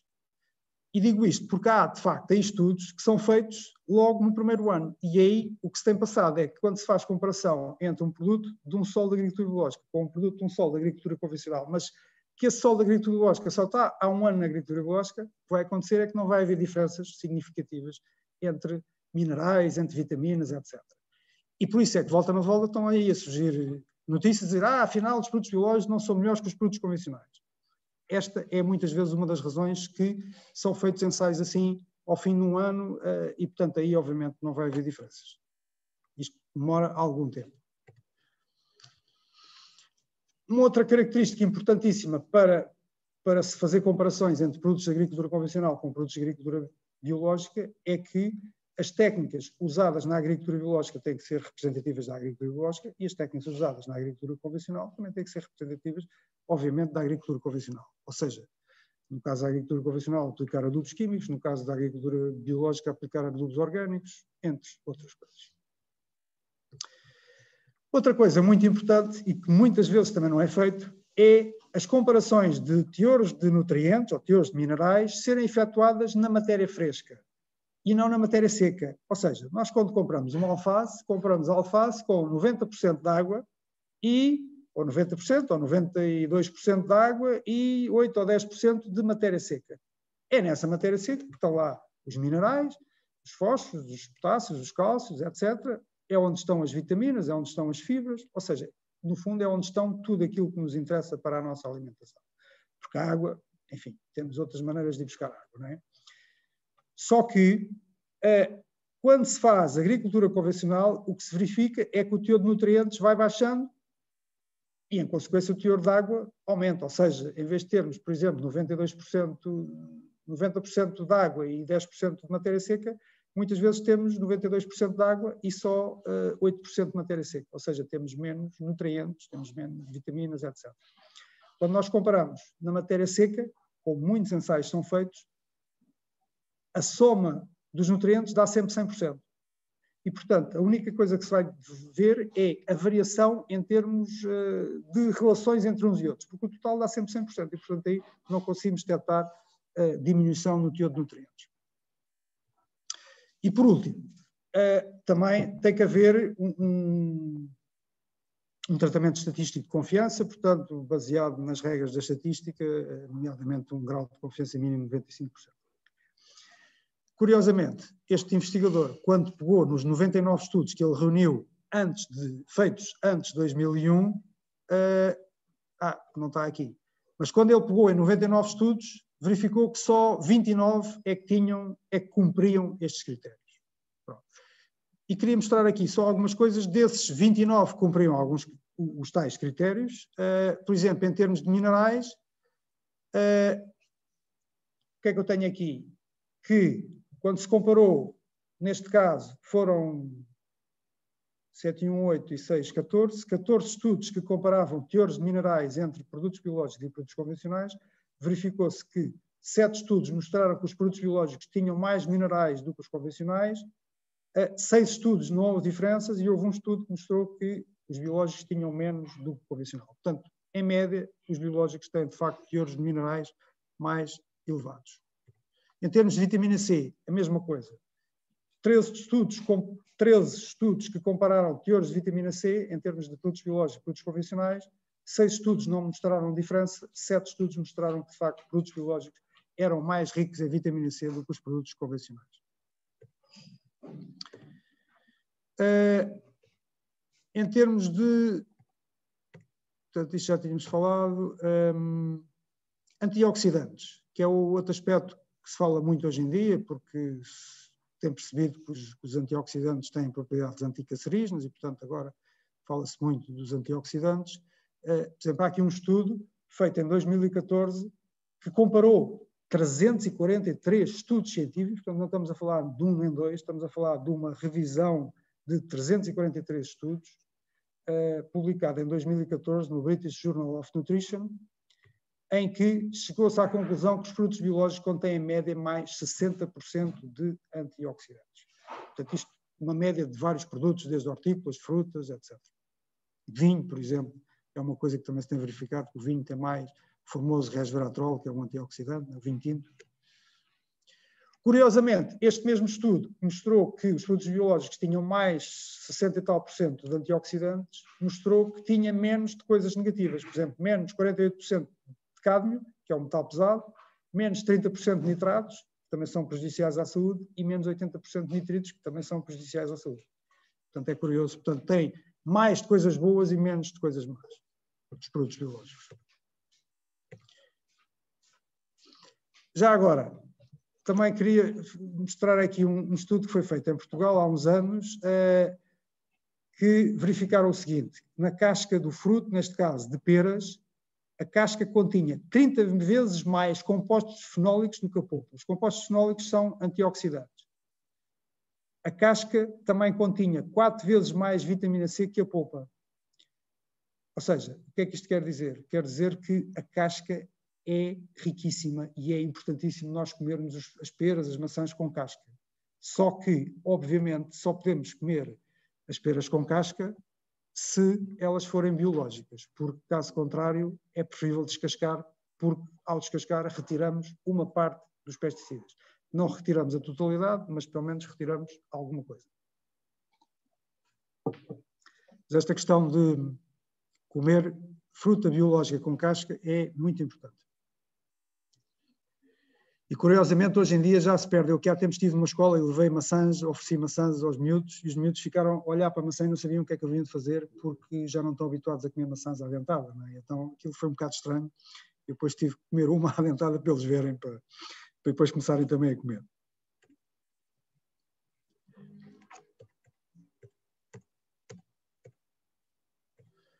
Bom, uh, Queria também, também chamar aqui a atenção de uma coisa que, para mim, é ainda muito mais importante do que os estudos que comparam teores de vitaminas ou teores de minerais, porque nós podemos ter um alimento que tem biológico, tem mais vitamina C do que um convencional, mas quer dizer, enfim, vitamina C até o excesso não faz sentido, mas se fosse vitamina A em excesso, podia ser prejudicial, não é? Portanto, o importante é o equilíbrio. Mas o que é que é o equilíbrio? Isso as pessoas, os investigadores não sabem muito bem. Daí que nada melhor do que ver, pôr, por exemplo, animais a comer produtos biológicos e animais a comer produtos convencionais e ver se de facto há diferenças de comportamento, de doenças, etc. Isso é que é muito mais interessante. Por isso, eh, estes estudos eu acho que são importantíssimos. Eh, tenho aqui só um, mas há mais. Eh, não há muitos, diga-se passagem, há muito mais estudos a comparar teores de antioxidantes e de minerais do que estudos em animais, mas já temos diversos. Por exemplo, este é um que foi uma tese de doutoramento feita na Alemanha há uns anos e que chegou-se à conclusão que os coelhos comiam forragem, portanto, erva biológica, produzida em agricultura biológica, tinha uma maior, tinha uma maior taxa de fecundação, ou seja, daqueles que acasalavam, 80, 86% fecundavam, enquanto que os comiam uh, erva convencional, só 59% é que fecundavam, as fêmeas. Uh, depois também os coelhos que comiam forragem biológica hum, tinham mais número de embriões por, por, por barriga. Uh, também mais crias que acabavam por nascer, obviamente, porque se tinham mais embriões também dava mais crias. E curiosamente, curiosamente ou não, mas é um aspecto que eu queria chamar a atenção para isto, eh, na primeira geração não houve diferenças em termos de doenças nos coelhos, mas na segunda geração houve diferenças. Ou seja, os coelhos que comiam produtos biológicos não tiveram qualquer doença infecciosa, mas os coelhos na segunda geração que comeram, que continuaram a comer forragem produzida em agricultura convencional, tiveram 33% de doenças. Isto foi um ensaio que foi feito com coelhos em jaulas, todas as jaulas estavam na mesma sala e, portanto, se estamos a falar de doenças infecciosas e estamos agora no meio de uma, pandemia, portanto, é, é uma situação interessante de analisarmos. Eh, portanto, quer dizer que aqueles micróbios andavam ali, só que houve uns coelhos que foram infectados e houve outros coelhos que não foram infectados. Quer dizer, hoje em dia, com a pandemia, só se diz que se contactamos com micróbios, somos logo infectados. Isto aqui mostra que não é bem assim. Ou seja, é, qual foi aqui a diferença? A diferença é que a alimentação modificou o sistema imunitário dos animais e, portanto, os animais comiam alimentos biológicos, tinham um sistema imunitário mais forte e, portanto, apesar de contactar com os micróbios, porque eles andavam lá, não foram, não adoeceram, enquanto que os outros adoeceram. Uh, reparem que isto não é novo. Isto já nos anos 40, dizia esta senhora que escreveu um livro de Living Soil, portanto, o solo vivo, em 1943, que já dizia, um solo vivo, fértil e equilibrado, contribui para a saúde das plantas, dos animais e dos humanos. Ou seja, se as plantas forem mais saudáveis, quem come as plantas, os animais ou os humanos, também vão ser mais saudáveis. E esta senhora fala isto com conhecimento de causa, porque ela foi influenciada por um dos pioneiros da agricultura biológica, da agricultura orgânica em Inglaterra, que foi o Albert Howard, eh, e ela começou a praticar esta forma de agricultura na sua exploração agrícola, e ela, como na altura consumia os produtos da sua exploração, a partir do momento em que, ao fim de uns anos, ter mudado para a tal agricultura orgânica que o Albert Howard promovia, ehm, ela percebeu que costumava ter dores reumáticas e deixou de ter dores reumáticas, e havia outros problemas que ela costumava ter e deixou de ter. E percebeu que isso tinha a ver exatamente com a forma como ela modificou a sua agricultura. E isso teve um impacto tão grande nela que ela depois começou a estudar o assunto de tal maneira que acabou por escrever um livro, que é um livro considerado histórico, diga-se passagem. Um médico francês que, e reparem, que é curioso, que é um médico diz que mais importante para a saúde que a medicina é a agricultura. Isto hoje em dia devia ser considerado, porque de facto, se nós, se os nossos solos não forem férteis, férteis com os tais micro-organismos, etc., as plantas não crescem saudáveis e quem come essas plantas também não vão ter muita saúde. Uh, aliás, houve outro investigador muito importante, francês, que era veterinário e, e agrónomo em simultâneo, tinha as duas licenciaturas, que era o André Voisin, que a dada altura começou-se a perceber que os animais tinham uma doença, uma doença nova que ninguém conhecia, toda a gente andava a tentar perceber o que é que era, até que ele, como era agrónomo e veterinário, a dada altura percebeu que aquilo na realidade não era uma doença devido a um microorganismo, era uma doença nutricional, ou seja, era uma carência que os animais tinham em magnésio. E porquê é que isso passou a acontecer? Devido à aplicação de um adubo com fósforo, desculpem, com potássio aos solos, e que, ao aplicarmos potássio aos solos, fez com que as plantas tivessem mais dificuldade em absorver magnésio, porque isso é umas coisas que existem dos chamados antagonismos minerais, que existem no solo, que já é uma questão mais técnica, mas de facto isso acontece. E o que é que se passa? A forragem, à vista, estava perfeitamente saudável, mas estava empobrecida em magnésio. Portanto, nós, os seres humanos, os, anima os animais, não sei se percebiam, mas pronto, eles eram obrigados a comer aquela, aquela forragem, tinham que comer ao comer constantemente erva com menos magnésio, ao fim de pouco tempo começaram a ter carências de magnésio, eles fizeram com que eles adoecessem. Portanto, essa doença tinha a ver com falta de magnésio. Portanto, isto para mostrar que, de facto, há uma ligação intrínseca entre a nossa saúde, a saúde das plantas e a saúde do sol. E por isso, eu não resisti, já que estamos aqui no meio desta pandemia, não resisti a fazer-vos aqui uma pergunta. Será que poderá existir relação entre alimentação e Covid? Claro que sim. Mas isso diz você aqui, não é? Mas a Direção-Geral de Saúde diz que não. E eu não resisti a pôr aqui, portanto, isto é um manual que produziram em março, não é? De da alimentação face ao Covid, e a dada altura tem lá isto. Pergunta: podemos reforçar o sistema imunitário através da alimentação? Não sei se conseguem ler. A evidência científica é escassa no que diz respeito à relação entre a alimentação e o reforço do nosso sistema imunitário. Não existindo nenhum alimento específico ou suplemento alimentar que possa prevenir ou ajudar no tratamento da Covid-19. Mais, mais curativo. Mas já agora, é? fiz só, foi o primeiro que veio na internet que eu pesquisei, um médico português que em novembro do ano passado, portanto ainda antes do Covid, estava a falar da vitamina D. Uh, vitamina D, não sei se vem no sublinhado em cima, está em letras mais pequeninas, uh, diz assim, cerca de 65% da população portuguesa tem falta de vitamina D, de, desculpem, tem falta de vitamina do sol, porque a vitamina D é produzida também pela ajuda, quando nós andamos ao sol, produzimos vitamina D. Se não andarmos, produzimos, não produzimos. E depois diz este médico que quando existe déficit de vitamina D, o sistema imunitário dos seres humanos é afetado. E a minha pergunta é: até quando nós exigimos o confinamento das pessoas, as pessoas vão ficar em casa, portanto vão apanhar. O médico, antes do confinamento, já dizia que havia deficiência de vitamina D na população em geral. 65% da população era deficitária em vitamina D. A partir do momento em que ficámos confinados em casa, eu não, porque estava na agricultura, tinha que trabalhar, mas muita gente ficou. Claro que apanhou menos sol. Menos sol, menos vitamina D. Até aí ninguém falou que se devia tomar suplementos de vitamina D. Isto, para mim, parece-me incrível e não percebo. Quer dizer, se calhar até percebo, mas não quero falar sobre isso. bom, desvantagens dos produtos biológicos. Também há desvantagens. A principal é talvez o seu preço. Eh, eu tenho ali por vezes, porque nem sempre o preço dos produtos biológicos é mais caro. Em geral é, mas há situações em que não é. O ano passado posso dizer que eh, em Torres Vedras e cá em Lisboa passava-se o mesmo, mas pronto, eu tive curiosidade e vi lá em Torres, que é na minha zona, num centro comercial, o celeiro tinha peras biológicas, pera rocha biológica mais, cara, mais barata do que no supermercado, neste caso era Auchan, eh, que tinha a pera rocha convencional mais cara. Pronto, isto foi também uma situação excepcional, porque ano passado houve muita pera biológica e havíamos produtores que estavam com dificuldade de vender, baixaram o preço. Pronto. Mas isto para dizer que não é sempre assim. Este ano, por exemplo, a pera já biológica já está muito cara, porque este ano há muito pouca. Portanto, isto também há aqui estas variações.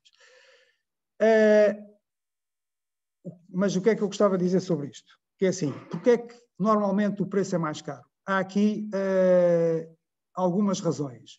Uma delas é que os agricultores biológicos têm que pagar uma certificação. O que é que é isto? Ou antes disto, dizer o seguinte: costuma-se falar muito do chamado princípio do poluidor-pagador, não é? Ou seja, quem polui devia pagar por isso. No caso da agricultura biológica, passa-se o princípio ao contrário, oposto, que é nós temos, nós, agricultores biológicos, temos que pagar para provar que não poluímos. Ou seja, temos que pagar a uma entidade que nos vai lá controlar para verificar que nós estamos a seguir, a seguir as regras da agricultura biológica. Portanto, isto é um completo contrassenso, mas é um facto. E, portanto, esse pagamento custa dinheiro e, portanto, obviamente tem que ser incluído no preço dos produtos. Não é? Para além disso, hum, para além disso, o facto da agricultura biológica ainda não ser produzida em larga escala, em massa, todos os custos de transporte, etc., são mais caros, obviamente. Então, os produtos em massa ficam sempre mais baratos. Uh, e depois, já aqui uma outra coisa muito importante para mim, que é o seguinte: uh, eu às vezes digo que não são os produtos biológicos que são muito caros, são os produtos convencionais que são demasiado baratos. E porquê é que eu digo isto? Digo isto porque um, porque, de facto, a agricultura convencional está a causar uma série de prejuízos ambientais, de saúde pública, que, se esses custos fossem contemplados no preço dos produtos agrícolas, os produtos convencionais ficavam muito mais caros que os produtos biológicos. O problema é que, sei lá, por exemplo, hum, câmaras municipais que já fecharam furos porque tinham teores de nitratos na água muito elevados. E tiveram que fechar aquele furo e tiveram que ir arranjar um outro furo, e cada vez está a ser mais difícil de arranjar furos com águas com de nitratos uh, razoáveis. Uh, esses nitratos foi devido a uma série de agricultores que aplicaram adubos açotados e que foram contaminar essas águas. Mas depois, o custo que essa Câmara Municipal teve para arranjar um novo furo foi suportado por todos nós. Porque se fosse suportado só por aqueles agricultores, de certeza que os preços deles tinham disparado. Quem diz isso diz ao nível de os resíduos de pesticidas, etc. etc. Portanto, uh, isto é como, como, por exemplo, quando nós comparamos atletas que tomam substâncias dopantes e, tu, e, atletas que não tomam substâncias dopantes, normalmente os que têm melhores performances são aqueles que tomam as substâncias dopantes. Não é? Mas porquê, porquê que é proibido os atletas tomarem essas substâncias? Porque é prejudicial à saúde. É? Na agricultura passa a mesma coisa. A agricultura convencional utiliza substâncias dopantes, que também são prejudiciais à saúde, são prejudiciais ao ambiente, só que neste caso não são ilegais, podem-se utilizar à vontade. E, portanto, obviamente que comparar uma agricultura que utiliza estas substâncias dopantes com outra que não utiliza é uma concorrência desleal. E por isso é que eu digo que os preços dos produtos convencionais são demasiado baratos, porque se, se contemplassem o seu verdadeiro preço, os produtos biológicos eram muito mais baratos que os produtos convencionais. Bom, há um outro inconveniente, cada vez menos, porque que é a menor disponibilidade em lojas, cada vez menos, porque hoje em dia já quase todos os supermercados têm também produtos biológicos e, portanto, já começa a ser relativamente fácil uh, adquirir produtos biológicos. O problema é que nos supermercados que também vendem, que é o normal, que também vendem produtos convencionais, os produtos biológicos obrigatoriamente têm que estar embalados para não haver possibilidades de fraudes, uh, e ao, embalarmos os produtos, encarecemos os produtos, para além de ecologicamente também não ser o melhor, porque um, é mais plásticos, mais resíduos, etc., que estamos a colocar no produto. É? Por isso é que as lojas que são exclusivas de produtos biológicos não precisam de embalar os produtos e, portanto, os produtos podem estar a granel, porque aí não há possibilidade de misturas, porque essas lojas não vendem produtos convencionais. É uma grande vantagem, daí que normalmente também os preços são mais baixos do que nos supermercados. Bom, então eh, já falámos aqui de dois tipos de agricultura eh, um bocado diferentes, sabendo que dentro da agricultura convencional há agriculturas piores do que outras, dentro da agricultura biológica também há agriculturas melhores do que outras, portanto não é tudo igual, mas estamos a falar em termos gerais, eh, que são bastante diferentes, quer para a saúde, quer para o ambiente. Eh, o que é que vai ditar a evolução de cada um destes temas? Se vamos promover mais a agricultura biológica ou promover mais a agricultura convencional? Claro que os apoios governamentais têm alguma influência, mas muito mais importante do que isso é o consumidor. Eu queria chamar a atenção para isso, porque todos nós, como consumidores, temos um papel importantíssimo. Ehm, porque quando nós estamos a comprar um produto, nós estamos a, a ter um ato político. Político em que sentido? Estamos a promover aquele método de produção. Se nós compramos um produto convencional, estamos a promover a agricultura convencional. Se nós compramos um produto biológico, estamos a promover a agricultura biológica. É tão simples quanto isto. E, portanto, é bom termos esta noção. Uh, se estamos a comprar um produto que vem da China e até é feito por crianças, estamos a promover a mão de obra infantil. É tão simples quanto isto. Portanto, infelizmente, as pessoas às vezes olham só para o preço e esquecem um bocadinho esta questão, mas o consumidor tem um papel fundamental e é bom que tenhamos todos a noção desse poder que nós temos. Uh, queria só também mostrar aqui o símbolo da agricultura biológica, que é a forma mais fácil de identificar um produto biológico. Portanto, um produto biológico tem que ter este símbolo, que é obrigatório na União Europeia. Um, e, portanto, voltar a enfatizar que a defesa do, do ambiente não depende dos outros, depende de cada um de nós, depende das nossas escolhas. Um, conclusão: a agricultura biológica preserva o ambiente, tão importante para as gerações futuras. A escolha dos produtos que se compram tem um impacto enorme e deve ser feita com consciência. Escolher produtos de agricultura biológica é contribuir para uma melhor saúde das pessoas e melhor saúde para o planeta em geral. E agora, se tiverem algumas questões. terei todo o gosto em responder. Muito obrigada. Dá para ouvir. Posso falar? Bem, muito obrigada. Só esta, esta, esta apresentação só revela de facto o teu percurso uh, uh, enorme na, nesta, nesta área, não é? Uh, e, e veio também desmistificar, acho eu, não é? Muita coisa relativamente à agricultura biológica, olha, sobretudo, sobretudo o suporte científico que ela afinal tem, não é? que ainda há muita gente que acha que não tem. Que, que muita gente acha que não tem, não Exatamente. é? Se calhar até por isso, se calhar há certas universidades que ainda não. não infelizmente, infelizmente também, mesmo a nível de nutricionistas, há muitos nutricionistas que conhecem muitos dos estudos que existem por aí e muitos deles, quer dizer, há nutricionistas que já perceberam que de facto os produtos biológicos uh, são melhores, mas há muitos ainda que continuam a dizer que ah, não há evidência científica que os produtos biológicos sejam melhores que os produtos convencionais. Eh, quando há, de facto, muitos estudos. Agora, também aparece de vez em quando alguns estudos que de facto mostram que não há diferenças, mas isso tem a ver muitas vezes, que eu já vi vários deles, que é isso. Aliás, eu lembro de uma vez ter dado uma palestra em Coimbra e por acaso veio um médico no final falar comigo que estava a fazer o mestrado, ia fazer a tese de mestrado, que ele aliás era sócio da Agrobio e, e daí tinha interesse pela agricultura biológica, e quis fazer comparação entre, exatamente, teor em vitaminas de produtos. Neste caso era tomate, tomate biológico e tomate convencional. Quando eu lhe perguntei como é que ele ia fazer o ensaio, aliás, já estava a meio do ensaio, o tomate já estava a crescer, eh, eu disse logo, você não vai obter diferenças nenhumas entre o tomate convencional e o tomate biológico, garantidamente. Ele não, ficou surpreendido. E, e, de facto, não conseguiu obter diferenças. E claro, mas isso tem a ver exatamente com a metodologia, porque num terreno, que ainda por cima era um terreno que era dele, estava abandonado há uma série de anos, a única diferença foi que na agricultura, no tomate convencional, ele com os adubos químicos. Mas isso é uma diferença mínima, pontualmente, ali durante uns meses. Agora, teria que ser feito era tomate biológico num terreno que já é biológico há vários anos e tomate ali num vizinho, para ser um solo idêntico, mas num, num, terreno que esteja em agricultura convencional também há vários anos. Aí sim iria haver grandes diferenças. Agora, de outra maneira, não. E há muitos estudos que dão que não há diferenças que têm a ver com este tipo de sim, erros experimentais. E até relativamente recentes, não é? Eu lembro sim, sim. um relativamente recente, tem uma polémica enorme, não é? Depois falta essa, falta essa informação, não é? Por trás, não é? Claro.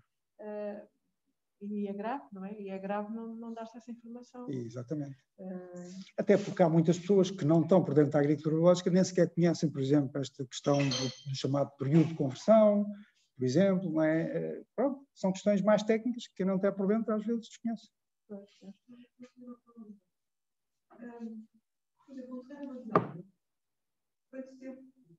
Imagino que não nosso cultivar nada, não sei nem convencional. Sim, sim. Sim. Mas que tem que, outrora já, pronto, só coisas, tomate, nomeadamente. Sim. Há algum período de conversão para, para se iniciar a num terreno assim? Sim. Nessa, sim, nessa situação, já agora, não sei se isto está a ser gravado ainda. Tá, tá, tá, As perguntas provavelmente não se ouvem, não é? Ah, pode melhor dizer, é melhor se calhar. Pronto, eu posso repetir a pergunta. Portanto, basicamente é num terreno que esteja abandonado há vários anos, se também tem que sofrer este período de conversão ou não. Um, não tem. Ou seja, o regulamento da agricultura biológica, que já agora é um regulamento que é igual para todos os países da União Europeia, não falei nisso, um, mas é, uh, prevê essa situação que é, em caso de terrenos que estejam abandonados há mais de três anos, uh, pode-se passar diretamente para a agricultura biológica. Para isso tem que haver eh, demonstração de observação da entidade certificadora e hoje em dia o Ministério da Agricultura até está a ser um bocadinho mais exigente do que há uns anos, que exige análise de resíduos do solo ou das plantas que lá estejam para ver se não há resíduos de pesticidas. Se houver, tem que sofrer o tal período de conversão. Se se verificar que não há resíduos de pesticidas, pode entrar diretamente logo para a agricultura biológica sem ter que passar por esse período de conversão. Em 88, não é? Quando terminou a sua licenciatura, Sim. tema ou, ou esta técnica, este conjunto de técnicas foi abordado durante a sua licenciatura? Não, não, aliás, hum, chegou a ser abordado algumas vezes, mas era sempre numa atitude crítica e negativa. E daí eu saí também do curso com uma atitude, lá está, nós somos formatados, não é? Eh, e, portanto, nós saímos com a formatação que nos deram. E, portanto, a mim, eu também saí com uma ideia negativa da agricultura biológica. Aliás, quando eu estava no quarto ano de agronomia, é curioso, tive uma discussão com um tipo que estava no primeiro ano, que era todo favorável à agricultura biológica. E eu, como estava formatado, estava do lado contra. Tivemos ali uma discussão, por acaso, interessante. Uh, foi depois, essa viagem ao Japão, é que me fez abrir os horizontes e conhecer coisas que eu desconhecia, desde perceber que havia investigação científica em faculdades, institutos de investigação que eu desconhecia, porque, e, e, e em agronomia também ninguém conhecia, por isso nunca foi falado, uh, e, e conheci uma realidade que nunca me ensinaram. Mas isso é assim na agricultura, é assim na medicina, é assim na psicologia, em muitas áreas, infelizmente. Que na altura usariam para denegrir a agricultura biológica? Ah, é que não é científico, que era uma coisa de hippies, eh, que era. Enfim. Eu, eu, eu, quando dava, eu, quando dava aulas, cheguei a ter várias discussões também com colegas meus que eram contra, não sei o quê. Pronto. Isso faz falta lá em agronomia.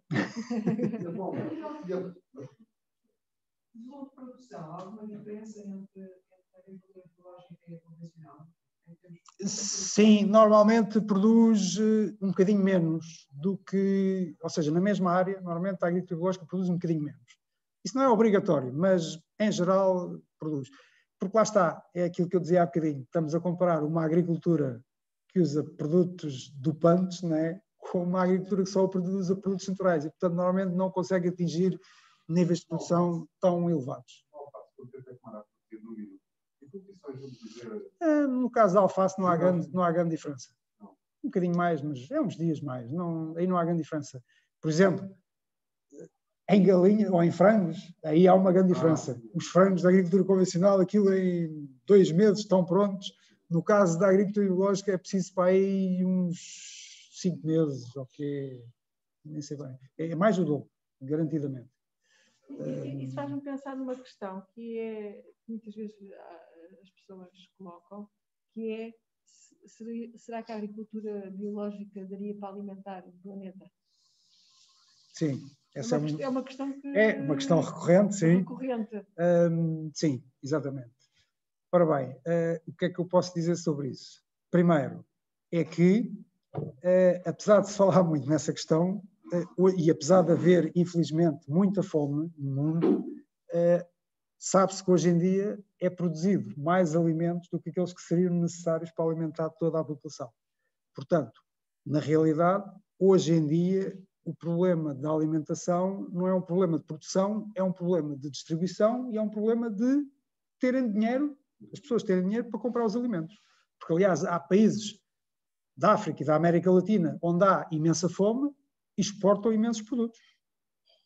Porque os, as pessoas que têm fome não têm dinheiro para comprar os, os alimentos. Essa é que é a questão, não é?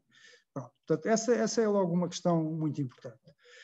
Uh, depois, há outra questão que lá está, os adeptos da, ou alguns adeptos da agricultura convencional dizem que ah, não, a agricultura biológica não pode ser porque como fazer agricultura vai danificar o ambiente, portanto, o melhor é produzirmos muito numa pequena área, que é para degradarmos a menor área possível para deixarmos as outras áreas como parques naturais, etc.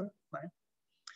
Só que o que se tem vindo a verificar é que é perfeitamente possível, e, e, nomeadamente alguns sistemas de agricultura até mais já evoluídos do que a própria agricultura biológica, que também são considerados biológicos, mas pronto, lá está, como eu dizia, mais ênfase numa agricultura regenerativa, ou tipo agrofloresta, ou coisas desse género, que já estão num nível muito mais evoluído e que conseguem produzir alimentos não só não degradando o ambiente, mas até melhorando o ambiente, melhorando a fertilidade dos solos, melhorando a bio, aumentando a biodiversidade, promovendo a, a, chuva, como é o caso do, do Ernst Gottes no, no, Brasil. Quer dizer, isto é, é, absolutamente espetacular e, ao mesmo tempo, produzindo alimentos.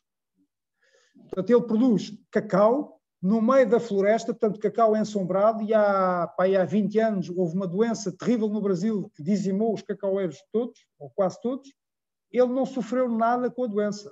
Os outros vizinhos todos, os cacaleiros morreram com a doença. No caso dele, não. Porquê? Por causa do tal ecossistema biodiverso.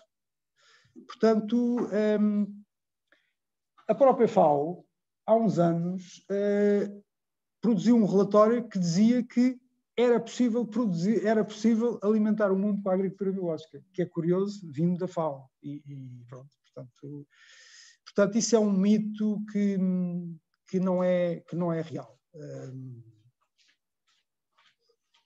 Podemos produzir um bocadinho menos, mas lá está, podemos, podemos utilizar áreas em que uh, nós até com a agricultura regenerativa podemos melhorar essas áreas em termos de fertilidade do solo.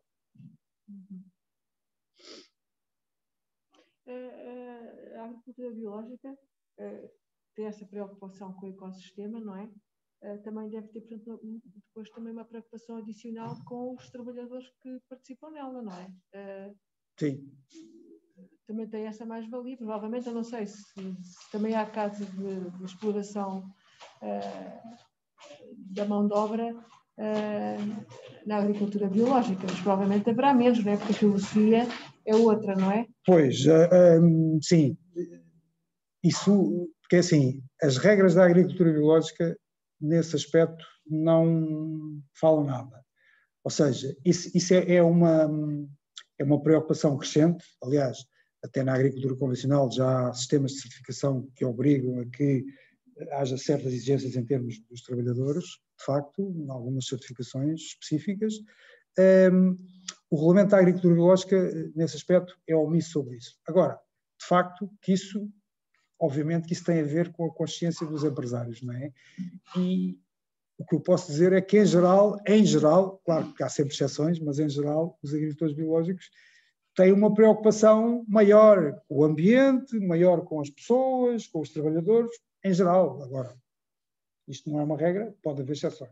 Porque, de facto, isso não faz parte das regras por enquanto, porque estas regras vão evoluindo e é óbvo que no futuro, de certeza, que irão fazer parte, mas por enquanto ainda não fazem parte uhum. dessa questão social, mas que é fundamental, claro. Uhum. Sim, e esses tais eh, disruptores endócrinos, eles atuam como na planta? Uh, eles na planta não são disruptores endócrinos. Uh, ou seja, são substâncias, por exemplo, vamos falar do caso do famoso glifosato, é? que é o conhecido por Roundup e tem muitas marcas e é o herbicida que que muitas vezes aplicam aí nos passeios para destruir as ervas. Eh, esse herbicida, esse produto, é considerado um desregulador hormonal, mas é um desregulador hormonal dos animais. Nas plantas, ele mata as ervas e ponto final. Portanto, nós pulverizamos uma planta e a planta morre. Pronto. E é usado por isso, porque as plantas muitas vezes crescem em sítios onde a gente não gostava de ter plantas e aplicamos o produto para matar as plantas. Porque Enquanto que as hormonas dos humanos são exatamente iguais às hormonas dos animais, mas as hormonas das plantas são completamente diferentes dos animais. Por isso, estes produtos desreguladores hormonais uh, são desreguladores hormonais dos humanos ou dos animais, não são das plantas. Portanto, nas plantas têm efeitos completamente diferentes. E, portanto, este efeito pernicioso é, de facto, nos animais e nas plantas. Uh, desculpem, nos animais e nas pessoas, nos humanos. Nesse caso é, é o herbicida.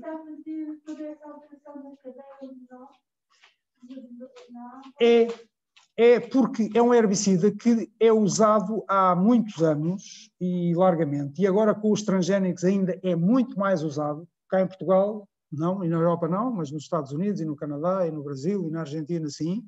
Porquê?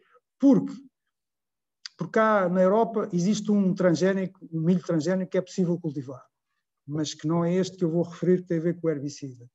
Porque nesses países da América uh, existe um transgénico que, ou seja, tem os genes manipulados, tem lá um gene que permite que nós possamos pulverizar a planta com o tal herbicida e a planta não morre. Porque tem um gene de resistência ao herbicida seja, a empresa faz o pacote que é, vende o herbicida e vende a semente que vai dar uma planta que consegue resistir ao herbicida. E, portanto, vende o pacote, é? o kit, planta e herbicida. O que é que isso tem levado? isso para o agricultor dá origem a uma grande facilidade. É que antes ele, para aplicar aquele herbicida, só podia pulverizar as plantas que ele queria matar, porque se pulverizasse o milho ou a soja, matava também o milho ou a soja.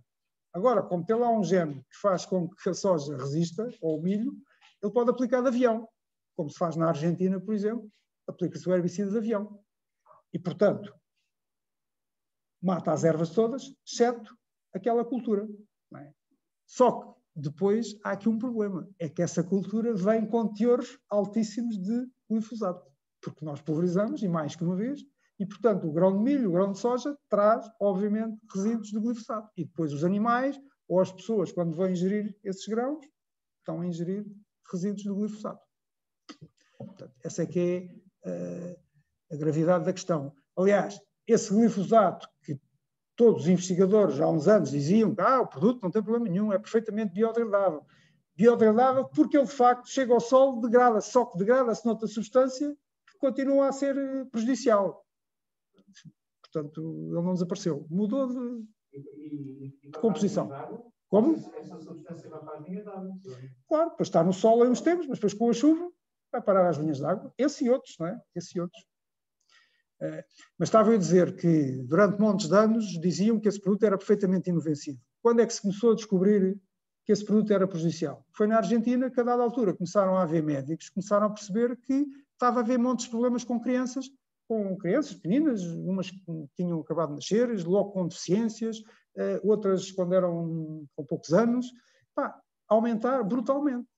Mas o que é que está a passar? E depois começaram a estudar, a estudar e perceberam que foi com a tal introdução dos transgénicos na, Argentina, pulverizava o herbicida de avião e, e, estamos a ver que em produtos, em países menos desenvolvidos, aquelas aldeias pequeninas, eles nem se preocupavam em desviar das aldeias, era aldeia, pulverizava a aldeia e tudo, não é? E pronto, e começou a haver problemas gravíssimos. Foi aí que se começou a perceber que o produto era, de facto, bastante prejudicial. E há aí documentários que mostram bem essas situações. Aliás, a empresa que produz este herbicida, que era a Monsanto, que agora foi comprada pela Bayer, a Bayer comprou a Monsanto, já, a Monsanto já era uma gigante, a Bayer também, agora juntaram-se dois gigantes. Um, a Bayer já pagou montes de indenizações, porque houve já montes de agricultores que meteram a Monsanto em tribunal, quando ainda era a Monsanto, e que já foi, já se percebeu que de facto agricultores que tinham cancros e não sei o quê por causa desse glifosato e a empresa já pagou uns largos milhões de indenizações eh, a agricultores. Mas continua a ser, continua a... Mas continua a ser utilizado. E andou em discussão ainda agora há, há dois anos na Europa e, apesar de saber isto tudo, mas vai-se continuar a permitir mais sete anos o herbicida. Porquê? porque isto é um lobby poderosíssimo, porque este produto é só o produto mais aplicado em todo o mundo. Portanto, isto são bilhões ou trilhões não é? que estão em jogo. E, portanto, isto é muito poderoso. E aqueles herbicidas, aqueles produtos que põem na, na, nos pomares, na, na pera rocha, uh, isto também é... Isso na pera rocha põe-se tanta coisa. Uh, para pulverizar eu estou a perguntar isto porque os meus pais moram no Cadaval, que é, é um dos conceitos mais. Sim, sim, sim. E nos últimos anos tem sido uma havia montes de campos abandonados transformar tudo em. Pomares de Pera Rocha. Pomares de Pera Rocha. E o terreno, literalmente ao lado, a um metro dos meus pais, puseram lá um, um, um pomar com, só com Pera Rocha e. E todas as semanas estão lá a pulverizá-lo. Todas as semanas estão a pulverizar a um metro Exatamente, exatamente. Uh, eu tive a consultar a legislação e a legislação não, não, não, não prevê mínimos de distanciamento. Pois não. Que é uma coisa que eu acho Grave, exatamente, exatamente. Porque, obviamente, quem está ali perto vai ser bastante prejudicado e vai, porque vai inalar aqueles pesticidas. Ou seja, é mais, é mais bom, não sei dizer se é mais prejudicial do que comer uma pera com resíduos ou são ambos prejudiciais. Uh, não sei qual é que será mais, mas uh, sim. Uh, sim, na pera rocha faz imensos, uma quantidade brutal de tratamentos, entre, 20, entre, 20, entre 20 a 30 tratamentos por campanha, ou seja, de março a, a agosto, a fim de agosto. Um, e curiosamente, apesar de se fazer esses tratamentos todos, mesmo assim tem havido problemas na pera rocha que não se está a conseguir resolver, nomeadamente há uma doença que é a stenfiliose que não estão a conseguir resolver, mesmo com aquela quantidade de pesticidas brutal, é, é o fogo bacteriano, ou seja, é, o que significa que, lá está, está-se a caminhar para um beco sem saída, que é a tal questão que eu dizia da agricultura não sustentável. É porque à medida que nós degradamos o solo com a aplicação de, dos, dos, herbicidas e de fungicidas e pesticidas em geral e dos adubos químicos, etc., estamos a degradar a biologia do solo, estamos a degradar o solo em geral, que depois as plantas vão crescendo cada vez menos saudáveis e, portanto, cada vez mais sensíveis a qualquer coisa que apareça. E, portanto, neste caso da pera rocha, agora tem sido esta doença que, na minha zona, que não é muito longe do, do Cadaval, já estão a arrancar mais pera rocha porque não estão a conseguir resolver o problema. Pois é tanto pesticida, tanto pesticida, além de ser altamente prejudicial para o consumidor, também é prejudicial para o agricultor, porque gasta imenso dinheiro. E depois não recebe muito dinheiro pela pera, epá, às tantas, é preferível arrancar os pomares, que é o que muitos já estão a fazer, não é? Isso faz-me também pensar... Mas, desculpa lá, mas curiosamente, também existem pomares de pera rocha em agricultura biológica, não é? Ou seja, apesar de ser considerada uma das plantas mais difíceis de fazer em, em agricultura biológica, devido a essas doenças todas que ela sofre, mas é possível fazer com produtos eh, sem, sem toxicidade, alguns até são baratos, outros não, outros até são bastante caros, depende. Uh, mas sei lá, por exemplo, o enxofre, que é um produto bastante barato e que se pode usar e que pode resolver vários problemas. Um, e é possível. E é possível, e a prova que é possível é que temos agricultores, eu produzo pera biológica, pera rocha biológica, e há, conheço outros produtores que produzem, e dou apoio técnico a alguns que, que produzem, portanto, é possível. Agora, se falando com um agricultor, dizer assim, que esteja habituado a fazer agricultura convencional, dizer assim, ah, vamos passar a pera roja para a agricultura biológica. Ah, isso é impossível. Então, eu mesmo com pesticidas não consigo resolver os problemas, como é que em agricultura biológica consigo? Só que a agricultura biológica não é só deixar de usar aquele produto e usar outros. É alterar uma série de coisas. E todas em conjunto, sim, nós conseguimos alterar o sistema. E provavelmente ali nos primeiros anos vai ser os anos mais difíceis, mas depois, à medida que o solo vai melhorando, os problemas vão diminuindo e, e torna-se mais fácil. Só, só, só, para terminar, uh, uh, depois passo a palavra. Um, uh, e isto tem também muito a ver com a questão das monoculturas. Não é? As monoculturas claro. são, são, claro. são as grandes potenciadoras das grandes, grandes pragas. Claro que sim. Vamos ver, monoculturas. Um, na natureza não existe monoculturas.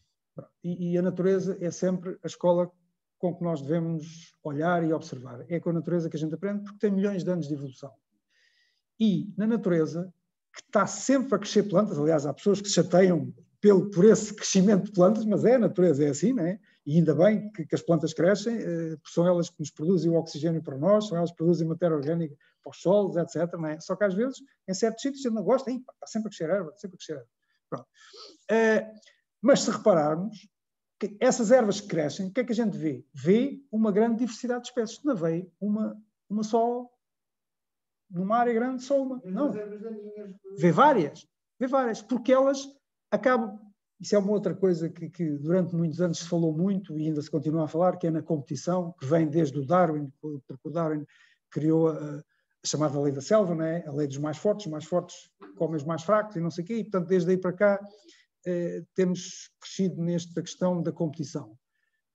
Eh, há uns anos para cá, há uma série de biólogos, ecologi, ecologistas, não, é. Estudo ecologia, não são, não são os ecologistas, normalmente a gente chama.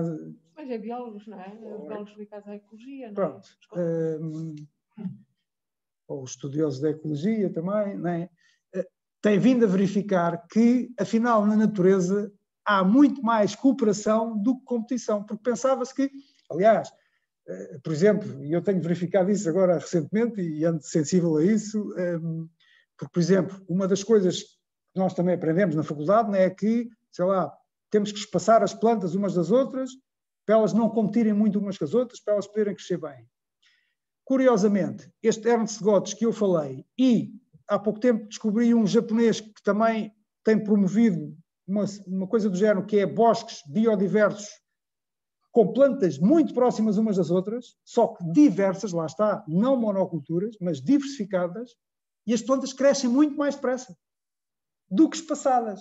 Ou seja, portanto, afinal não há afinal não há competição, afinal há cooperação, há simbiose, exatamente. E hoje em dia sabe-se, e há uma investigadora canadiana que tem feito um trabalho espetacular nisso, que as plantas isso é uma coisa recente, e há vídeos no YouTube que mostram isso, uma Suzanne Simard, é espetacular, que há estudos que mostram que as plantas adultas, por exemplo, imaginem uma floresta em que há uma planta, uma, uma árvore, mas pequena ainda, e está por baixo das árvores todas, portanto tem pouca luz, está ali em grandes dificuldades. Então já se percebeu que as plantas grandes libertam nutrientes pelas raízes passam através de fungos, que há uma, uma rede nestes solos naturais, claro que na agricultura convencional esta rede não existe, mas nestes solos existe uma rede de fungos filamentosos, que são as tais micorrizas, as tais que formam simbioses com as plantas,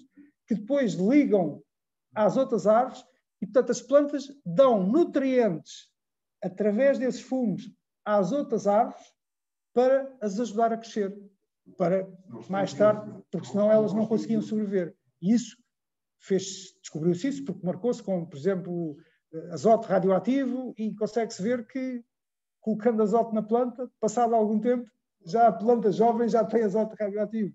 Portanto, é impressionante. Quer dizer, que é uma coisa que se tem vindo a descobrir, que há toda uma cooperação. Outra coisa, por exemplo, outra coisa importantíssima, as plantas não absorvem só nutrientes do solo, que é também uma coisa que eu pensava durante muitos anos, mas as plantas também libertam nutrientes para o solo. Para quê? Para alimentar os micróbios. Também há uma simbiose com os micróbios, ou seja, os micróbios dão coisas às plantas, mas as plantas também dão alimento aos micróbios. Portanto, o que está a verificar mais recentemente é que a vida vive em cooperação e não em competição. Que é uma coisa curiosa. Por isso é que os tais bosques, muito próximos uns dos outros e diversos, crescem mais depressa do que quando estão afastados. Que é interessantíssimo, porque tem que ser diversos, não pode ser uma monocultura de eucaliptos ou uma monocultura de pinheiros. Aí não dá. Não é? Mas isso lá está. Isso não é natural. E tudo o que se afasta da natureza tem um custo.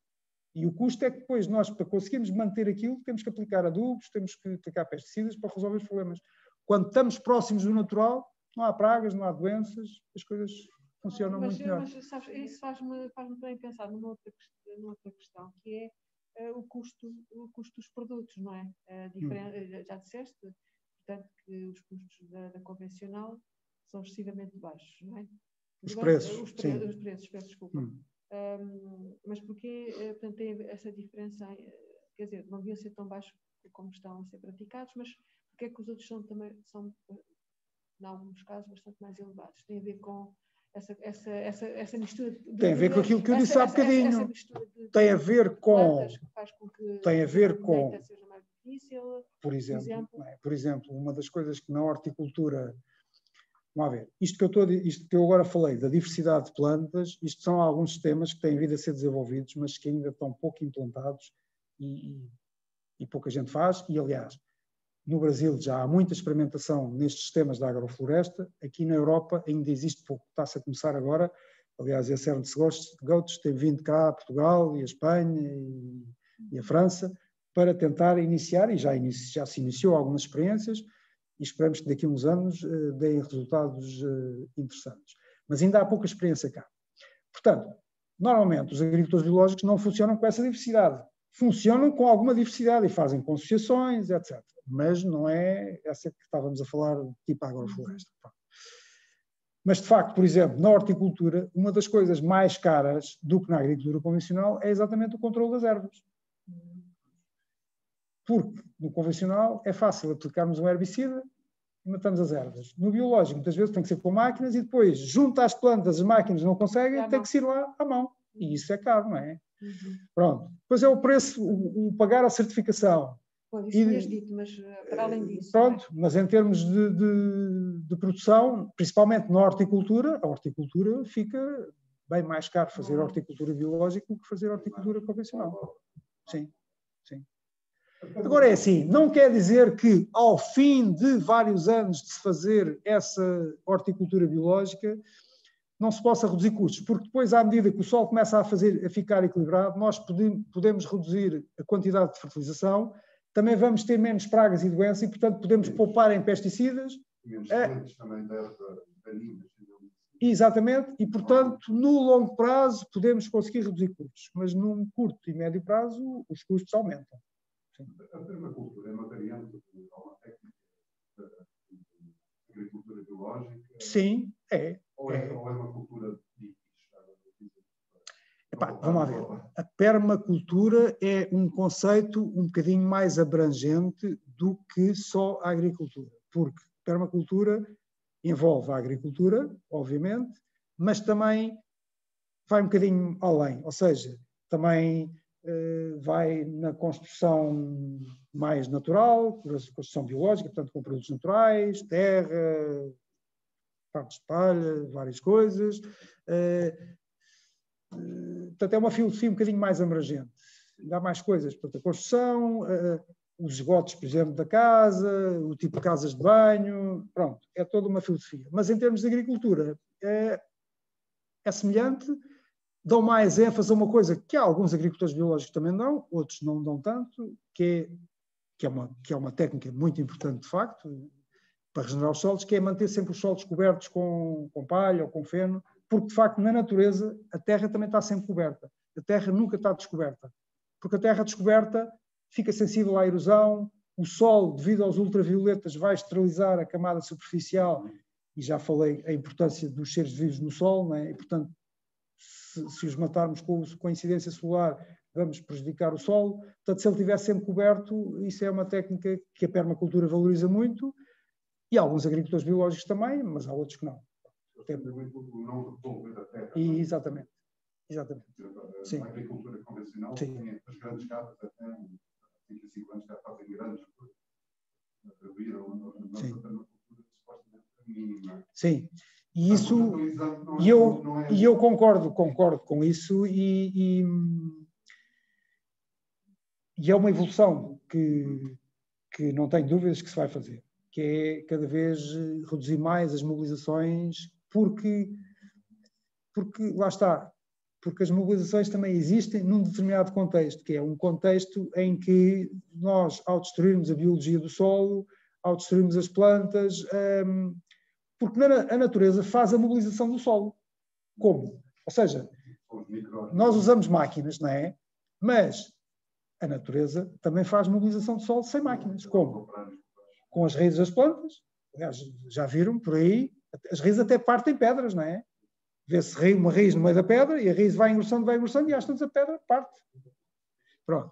É, portanto, as raízes descompactam o solo e depois temos as minhocas, temos os ratos, temos as toupeiras, temos uma série de charada que faz a mobilização do solo. E, portanto, na natureza não precisamos de máquinas para descompactar o solo. O solo está descompactado por natureza. O problema é que nós, ao uh, agredirmos uma série de coisas, depois precisamos de máquinas.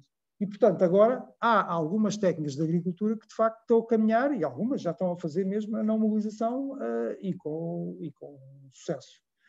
Agora, ainda não está muito desenvolvido, porque isso implica mais conhecimento, e há muitos agricultores que ainda não estão virados para aí, mas, mas é, de facto, uma evolução positiva, não tenho dúvidas nenhuma sobre isso.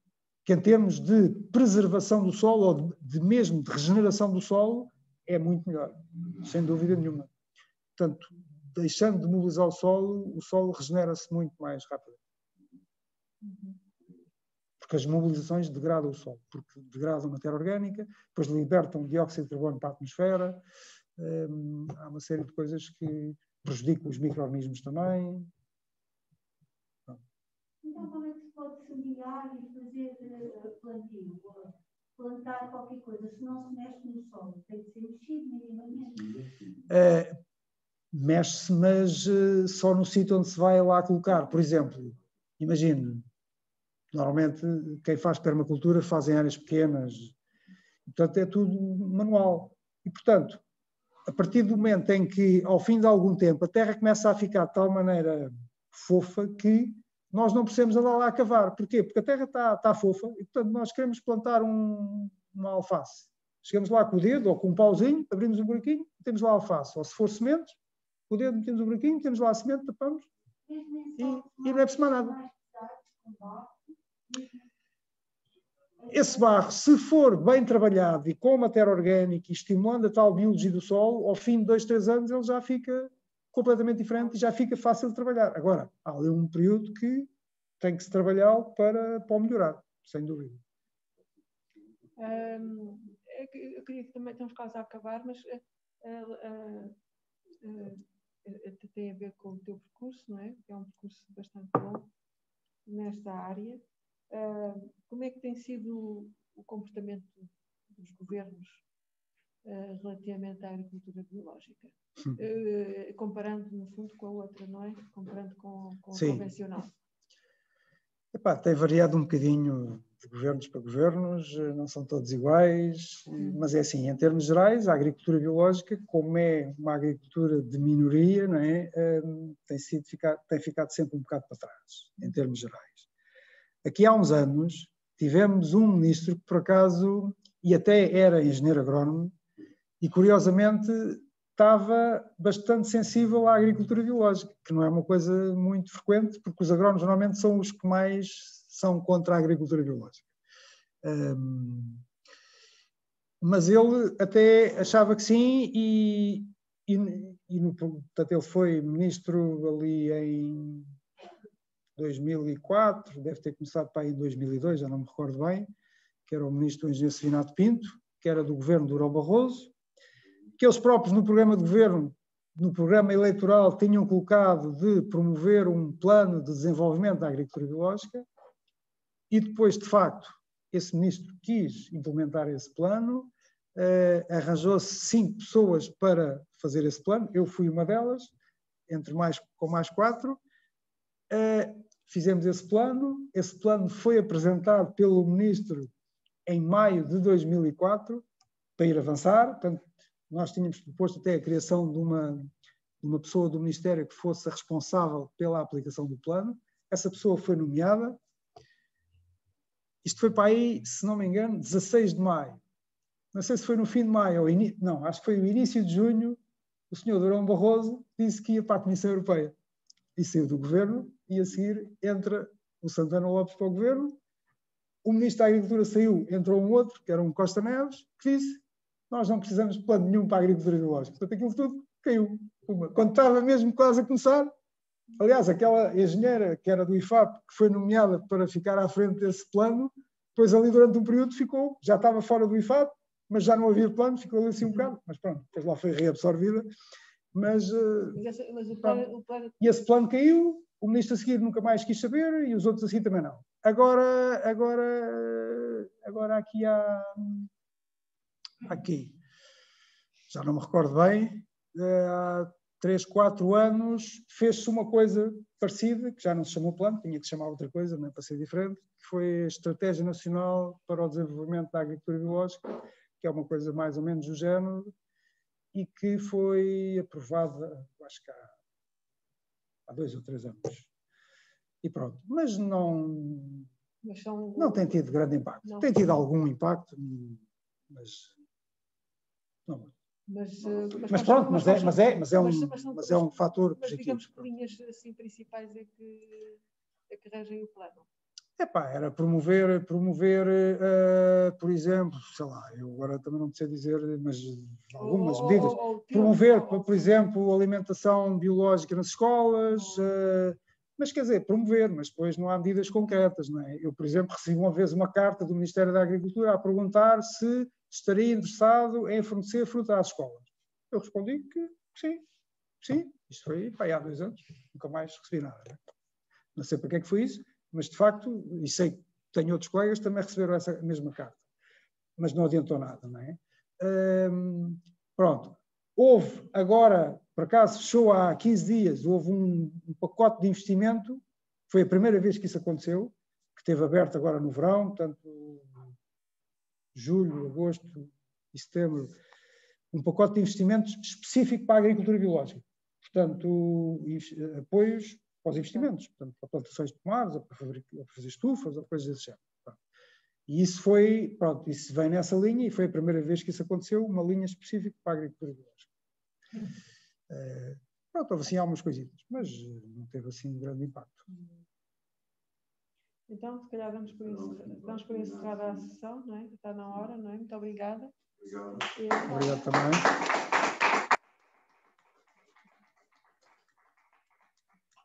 Agora a sua quinta é onde? É perto de Torres Vedras. Entre Malveira e Torres Vedras. Não precisam de voluntários.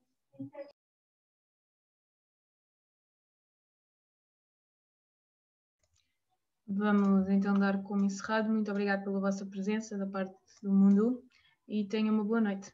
Obrigado.